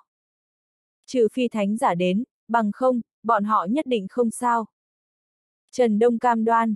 Dương Diệp yên tâm rồi, hắn chậm rãi bước về phía Nam Kha Đồ, nói. Ngươi cảm thấy ngươi rất lợi hại à? Giết ngươi chắc không có vấn đề gì. Nam Kha Đồ nói. Dương Diệp gật đầu, nói. Vậy ngươi có biết ta lợi hại thế nào không? Cho ta xem thử đi. Nam Kha Đồ nói. Được. Dương Diệp nói. Tốc độ của ngươi không phải rất nhanh sao? Đến đây, xuất thủ một lần đi, để cho ta thấy ngươi còn nhanh được không? Như ngươi mong muốn. Theo thanh âm của Nam Kha Đồ vừa dứt, người hắn đã trực tiếp biến mất tại chỗ, vào khoảnh khắc Nam Kha Đồ dứt lời, hai mắt Trần Đông ở bên cạnh lập tức híp lại, trong mắt xuất hiện vẻ ngưng trọng, bởi vì tốc độ này đã có thể uy hiếp hắn một cách nghiêm trọng. Nhưng mà, một màn quỷ dị xuất hiện, Trần Đông phát hiện, tốc độ của Nam Kha Đồ không ngờ càng lúc càng chậm, cuối cùng không ngờ giống như trẻ con tập đi vậy, chậm vô cùng. Kiếm vực. Không biết từ đâu truyền đến tiếng hô kinh ngạc. Trên lực lượng ý cảnh là lực lượng pháp tắc, mà trên lực lượng pháp tắc là lực lượng của vực. Lực lượng của vực sở dĩ siêu việt lực lượng ý cảnh và lực lượng pháp tắc, là vì lực lượng của vực có thể khiến thế giới của bản thân trong phạm vi lĩnh vực siêu thoát thiên địa mà bản thân đang, cũng chính là tự thành thế giới. Lực lượng của vực có thể áp chế lực lượng pháp tắc, đương nhiên, không phải là tuyệt đối. Dương Diệp lúc trước khi đối chiến với Minh Nữ, chính là dựa vào là kiếm vực để áp chế âm dương pháp tắc của Minh Nữ, chỉ có điều khi đó, sự nắm giữ của hắn đối với kiếm vực vẫn chưa sâu. Bởi vậy lúc ấy kiếm vực của hắn thiết chút nữa bị âm dương pháp tắc của minh nữ khiến cho sụp đổ. Về phần nam kha đồ này, tốc chi pháp tắc của hắn so với pháp tắc của minh nữ không chỉ yếu hơn nhiều, hơn nữa thực lực của bản thân hắn cũng không mạnh bằng minh nữ, hơn nữa năng lực nắm giữ đối với kiếm vực của Dương Diệp cũng hơn xa lúc trước, bởi vậy, tốc chi pháp tắc của Nam Kha Đổ này không tạo thành uy hiếp có tính thực chất gì cho kiếm vực của Dương Diệp. Ngược lại, tốc chi pháp tắc của đối phương còn bị kiếm vực áp. Chế! Trong kiếm vực, tốc độ của Nam Kha Đồ bị hạ xuống thành chậm nhất, đến bây giờ, Nam Kha Đồ bước ra một bước cũng giống như phải dở hết sức bình sinh. Vào lúc này, trong mắt Nam Kha Đồ đã xuất hiện vẻ kinh hãi. Không chỉ Nam Kha Đồ, những người biết đây là gì toàn bộ cũng kinh hãi tới mức như hóa đá, bao gồm cả cuồng kiếm Trần Đông. Bởi vì kiếm vực, ngay cả Lục Uyển Nhi cũng không lĩnh ngộ được. Đúng lúc này, một đạo kiếm quang đột nhiên lóe lên, kiếm quang ở trong mắt người ngoài, tốc độ khá chậm, tùy tiện một tôn giả cảnh nào đều có thể dễ dàng tránh được, nhưng Nam Kha Đồ lại giống như bị điểm huyệt, hai mắt trợn lên, chỉ có thể trơ mắt nhìn đạo kiếm quang đó đi tới trước mặt hắn, tiếp PC theo, một cánh tay của hắn trực tiếp bay ra. Trong kiếm vực, Dương Diệp lợi dụng không gian và không khí hình thành áp lực cường đại trói buộc Nam Kha Đồ, dưới loại áp lực này, Nam Kha Đồ đừng nói là tốc độ, ngay cả động đậy một chút cũng khó. Bởi vậy, lúc này, hắn cơ hồ không có sức hoàn thủ, bởi vì hắn chưa tốc chi pháp tắc, ở phương diện khác thì không cường đại bằng. Lúc trước minh nữ lay động được kiếm vực, là vì bản thân nàng ta trừ âm dương pháp tác ra, huyền kỹ và thực lực ở các phương diện khác đều không kém Dương Diệp, bởi vậy, tạo thành ảnh hưởng đối với nàng ta nhưng lại không thể hoàn toàn áp chế nàng ta. Mà nam kha đồ này thì làm sao mà sánh được với minh nữ? Các ngươi đã muốn chơi thì lần này ta chơi với các ngươi. Nói thật, ta chỉ sợ các ngươi không chơi nổi thôi. Nam Kha Đồ nhìn Dương Diệp chằm chằm, trong mắt không còn vẻ bình tĩnh và thong dong như lúc trước, có chẳng chỉ là sự khiếp sợ và không cam lòng. Trường kiếm trong tay Dương Diệp khẽ động, dí lên yết hầu Nam Kha Đồ, sau đó xoay người nhìn về phía chân trời, nói. 50 vạn đá năng lượng siêu phẩm mua mạng của hắn, người có mua hay không? Nếu nói nửa chữ không ta sẽ lập tức một kiếm kết liệu hắn. Yên lặng một thoáng, một đạo lưu quang xẹt qua chân trời, tiếp theo, một chiếc nạp giới xuất hiện trước mặt Dương Diệp. Dương Diệp thu hồi nạp giới, sau đó khóe miệng nở một nụ cười lạnh, nói. Ta hối hận rồi, mạng này ta không bán. Nói xong, tay hắn khẽ động, kiếm lướt qua cổ Nam Kha Đồ, máu tươi từ yết hầu Nam Kha Đồ bắn ra, hai mắt Nam Kha Đồ trợn lên. Chết không nhắm mắt, càn rỡ. Một tiếng giống giận dữ vang vọng phía chân trời, khiến cho không gian ở đó chấn động kịch liệt, giống như trời tùy thời sẽ đổ sập, vô cùng khiếp người. Dương Diệp không để ý tới đối phương, tay phải vung lên, thu thi thể của Nam Kha đổ vào trong không gian của vỏ kiếm cổ. Vào lúc này, hai mắt Dương Diệp bỗng nhiên híp lại, xoay người, sau đó một quyền đánh vào không gian ở đó. Quyền ra, không gian chấn động, tiếp theo, không gian nơi đó mấp máy, một người áo đen xuất hiện ở trước mặt Dương Diệp. Người áo đen dường như không ngờ Dương Diệp lại phát hiện ra hắn, hành động hơi khựng lại, nhưng rất nhanh liền có phản ứng, hàn quang lóe lên, một thanh thủy thủ xé rách không gian, hung hăng xẹt qua cổ Dương Diệp. Đột nhiên, quyền đầu Dương Diệp thu lại, tiếp theo, một thanh huyền kiếm đạo cấp mang theo một đạo kiếm quang đánh lên thủy thủ. ầm, um, kiếm khí tiêu tán, nhưng mà người áo đen lại chấn cho liên tục lui về phía sau, lần này, sau khi hắn dừng lại thì cả người lại biến mất. Nhưng mà Dương Diệp lại xoay người rồi đột nhiên rút kiếm, sau đó một đạo kiếm khí lóe lên. Nơi kiếm khí hướng tới, không gian mấp máy, người áo đen hiện ra nguyên hình. Mà lúc này, hắn không ngờ ở cách trước mặt Dương Diệp không đến một trường. Àm! Người áo đen lại bị chấn cho liên tục lui về phía sau. Dương Diệp không xuất thủ nữa, trong mắt hắn có một tia ngưng trọng. Hắn tuy rằng không dùng kiếm vực để chấn áp người áo đen này, nhưng người áo đen này lại ở trong kiếm vực của hắn, mà hắn cũng dựa vào kiếm vực mới có thể truy tìm được hành tung của người áo đen này một cách chuẩn xác. Mà hắn không ngờ là, ngay cả như vậy, hắn cũng không thể giết được đối phương. Mỗi một kiếm của hắn đều là 20 đạo trảm thiên bạt kiếm thuật chồng nhau, nhưng mà lại chỉ có thể đẩy lùi được đối phương. Thực lực của người áo đen này trên Nam Kha Đồ. Nếu ta đoán không sai, thi triển một lần kiếm vực, người sẽ trả giá cực lớn, cho nên sau khi giết Nam Kha, người giao thủ với ta. Mà không dám thi triển kiếm vực, chỉ có thể bằng vào kiếm vực để tìm thân pháp của ta. Người áo đen nói, Nam Kha quá ngu, hắn quá chú trọng lực lượng pháp tắc, mà không để thăng thực lực ở các phương diện khác. Bởi vậy, một khi lực lượng pháp tắc bị khắc chế, hắn sẽ trở thành một một phế nhân. Có điều biết sao được, nếu không phải hắn chuyên công phương diện tốc độ, hắn căn bản không thể lĩnh ngộ được tốc chi pháp tắc. Muốn trách thì trách hắn gặp phải người, bằng không, bán thánh cao cấp cũng không giết được hắn. Lại nhảy gì thế? Dương Diệp nói. Ta hôm nay không thi triển kiếm vực, xem có thể giết được ngươi hay không nhé. Thân hình người áo đen đột nhiên lóe lên, tới trước mặt Dương Diệp, vừa tới trước mặt Dương Diệp, toàn bộ thân thể hắn run rẩy kịch liệt, sau đó vô số người áo đen xuất hiện. Tiếp theo, vô số đạo hàn quang xé rách không gian cắt về phía Dương Diệp. Ong! Tiếng kiếm vang lên, tiếp theo, hơn trăm đạo kiếm quang tung hoành, đan xen với vô số đạo hàn quang đó. ầm ầm ầm. Một lúc sau, hàn quang tiêu tán, Dương Diệp và người áo đen xuất hiện. Ta, ta thua ở nhục thân. Người áo đen vừa dứt lời thì ngã vật xuống đất. Sau khi người áo đen ngã xuống, toàn bộ quần áo trên người Dương Diệp đột nhiên hóa thành những mảnh vụn. Trên người Dương Diệp toàn là vết đao, đao nào cũng thấy máu, nhưng lại không chí mạng. Vào khoảnh khắc lúc trước hai người giao thủ, Dương Diệp triệt để từ bỏ phòng ngự, kiếm nào kiếm nấy đều muốn đoạt mệnh, mà đối phương cũng từ bỏ phòng ngự, đao nào đao nấy đều chí mạng, đáng tiếc là, Dương Diệp bằng vào nhục thân cường đại mà chống đỡ được, còn người người áo đen thì không thể. Thanh đạo môn lại bại. Trong sân yên tĩnh đến mức có thể nghe được tiếng kim rơi. Không nghi ngờ gì nữa, tên của Dương Diệp từ nay về sau sẽ truyền khắp toàn bộ Bắc giới, thậm chí là toàn bộ Thanh Châu. Dương Diệp đi tới trước mặt người áo đen, tay phải vung lên, thu người áo đen vào trong vỏ kiếm cổ.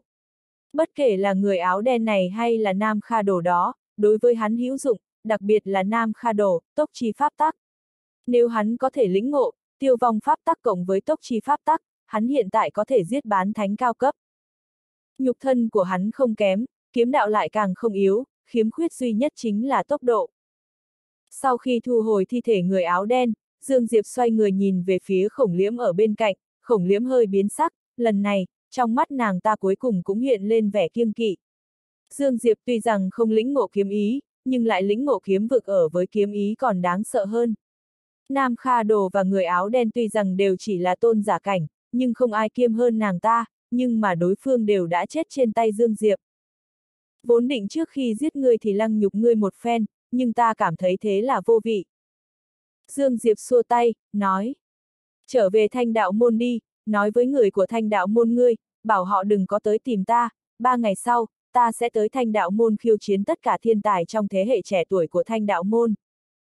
Dương Diệp biết, chuyện thanh đạo môn hắn phải đánh một dấu chấm, bằng không, đối phương mỗi ngày ở phía sau nhìn chằm chằm vào hắn, hắn căn bản không có thời gian khôi phục thực lực. Tình cảnh hiện tại của An Nam Tĩnh và Mục Hàn San rất không ổn, không chỉ An Nam Tĩnh, còn cả tung tích của đám người hiểu vũ tịch cũng không rõ, hắn thật sự không muốn dây dưa mãi với thanh đạo môn này. Dương Diệp biết, chuyện thanh đạo môn hắn phải đánh một dấu chấm, bằng không, đối phương mỗi ngày ở phía sau nhìn chằm chằm vào hắn, hắn căn bản không có thời gian khôi phục thực lực. Tình cảnh hiện tại của An Nam Tĩnh và Mục Hàn San rất không ổn, không chỉ An Nam Tĩnh, còn cả tung tích của đám người hiểu vũ tịch cũng không rõ, hắn thật sự không muốn dây dưa mãi với thanh đạo môn này. Cho nên, hắn chuẩn bị chấm dứt triệt để. Chỉ bằng, khổng liễm giống như muốn nói những lời ác độc gì đó, nhưng Dương Diệp lại đột nhiên nhìn về phía nàng ta, nói. Có cút hay không? Khổng liễm biến sắc, nhưng không dám nói tiếp, thân hình nàng ta khẽ động, biến mất tại chỗ. Khổng liễm đi rồi, khóe miệng Dương Diệp lộ ra vẻ chua chát, hắn đâu có muốn thả khổng liễm này đi chứ. Nhưng biết làm sao được. Ba ngày sau, thanh đạo môn ta kính cẩn chờ ngài. Chân trời, truyền đến một đạo thanh âm trầm thấp. Trận đánh ở Minh Võ Thành, rất nhanh giống như ôn dịch thổi quét toàn bộ bắc giới. Kiếm vực. Cổ kiếm trai có người nắm giữ kiếm vực, kiếm vực mà ngay cả Lục Uyển Nhi được xưng là kiếm hoàng cũng không thể nắm giữ. Toàn bộ cổ kiếm trai sôi trào. Phải bất chấp tất cả mọi giá bảo vệ mạng của kẻ này. Một đạo thanh âm từ tổng bộ cổ kiếm trai truyền ra, sau 10 hơi thở, vô số đạo khí tức khủng bố từ chín phong của cổ kiếm trai lướt ra, mục đích của những cường giả này là Minh Võ Thành. Ngược lại, thanh đạo môn không hề có động tính.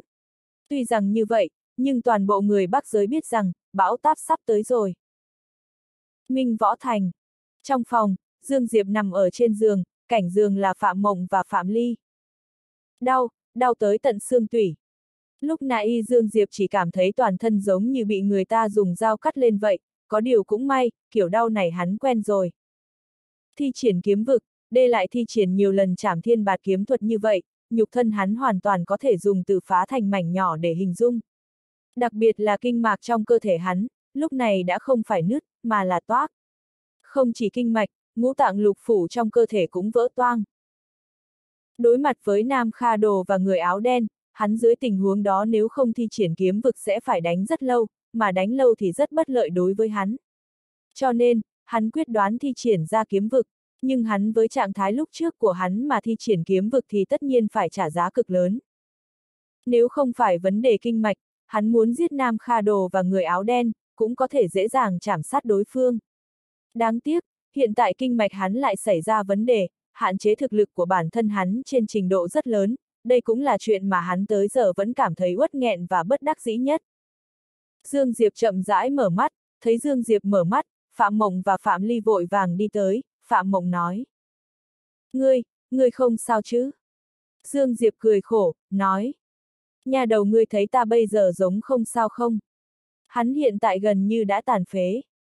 Phạm Mộng lần này lại không khóc, bởi vì nước mắt khi Dương Diệp hôn mê đã khóc tới khô rồi.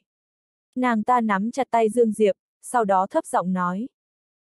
Dương Diệp, người có hối hận vì đã gặp ta không?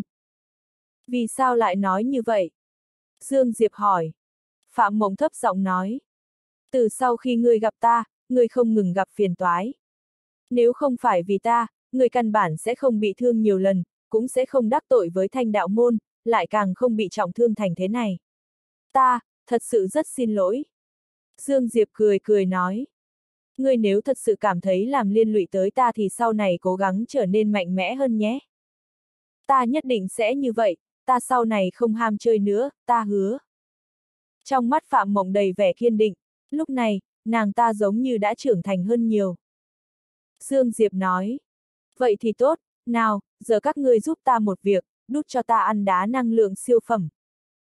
Rất nhanh, từng viên đá năng lượng siêu phẩm không ngừng tiến vào trong cơ thể Dương Diệp, sau đó bị Dương Diệp hấp thu. Tiểu tuyền qua à tiểu tuyền qua, chuyện lần này chơi hơi lớn, lão nhân ra ngươi nếu không khôi phục bình thường, thì người chờ nhặt xác cho ta đi.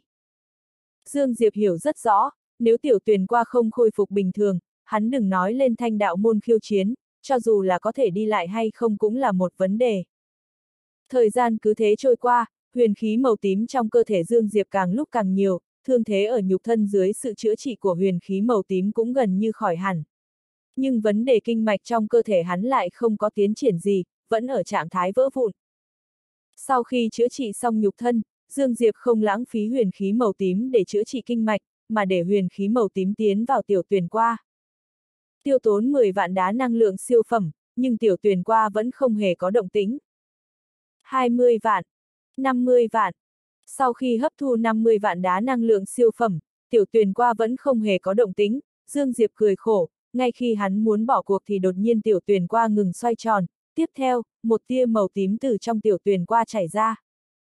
Dương Diệp hơi sừng sốt, rất nhanh, Dương Diệp kích động tới mức thiếu chút nữa thì trực tiếp nhảy bật dậy từ trên giường, bởi vì những huyền khí màu tím này là hồng mông tử khí. Dương Diệp cố nén kích động và hưng phấn trong lòng, vội vàng dẫn những hồng mông tử khí này đi chữa trị kinh mạch.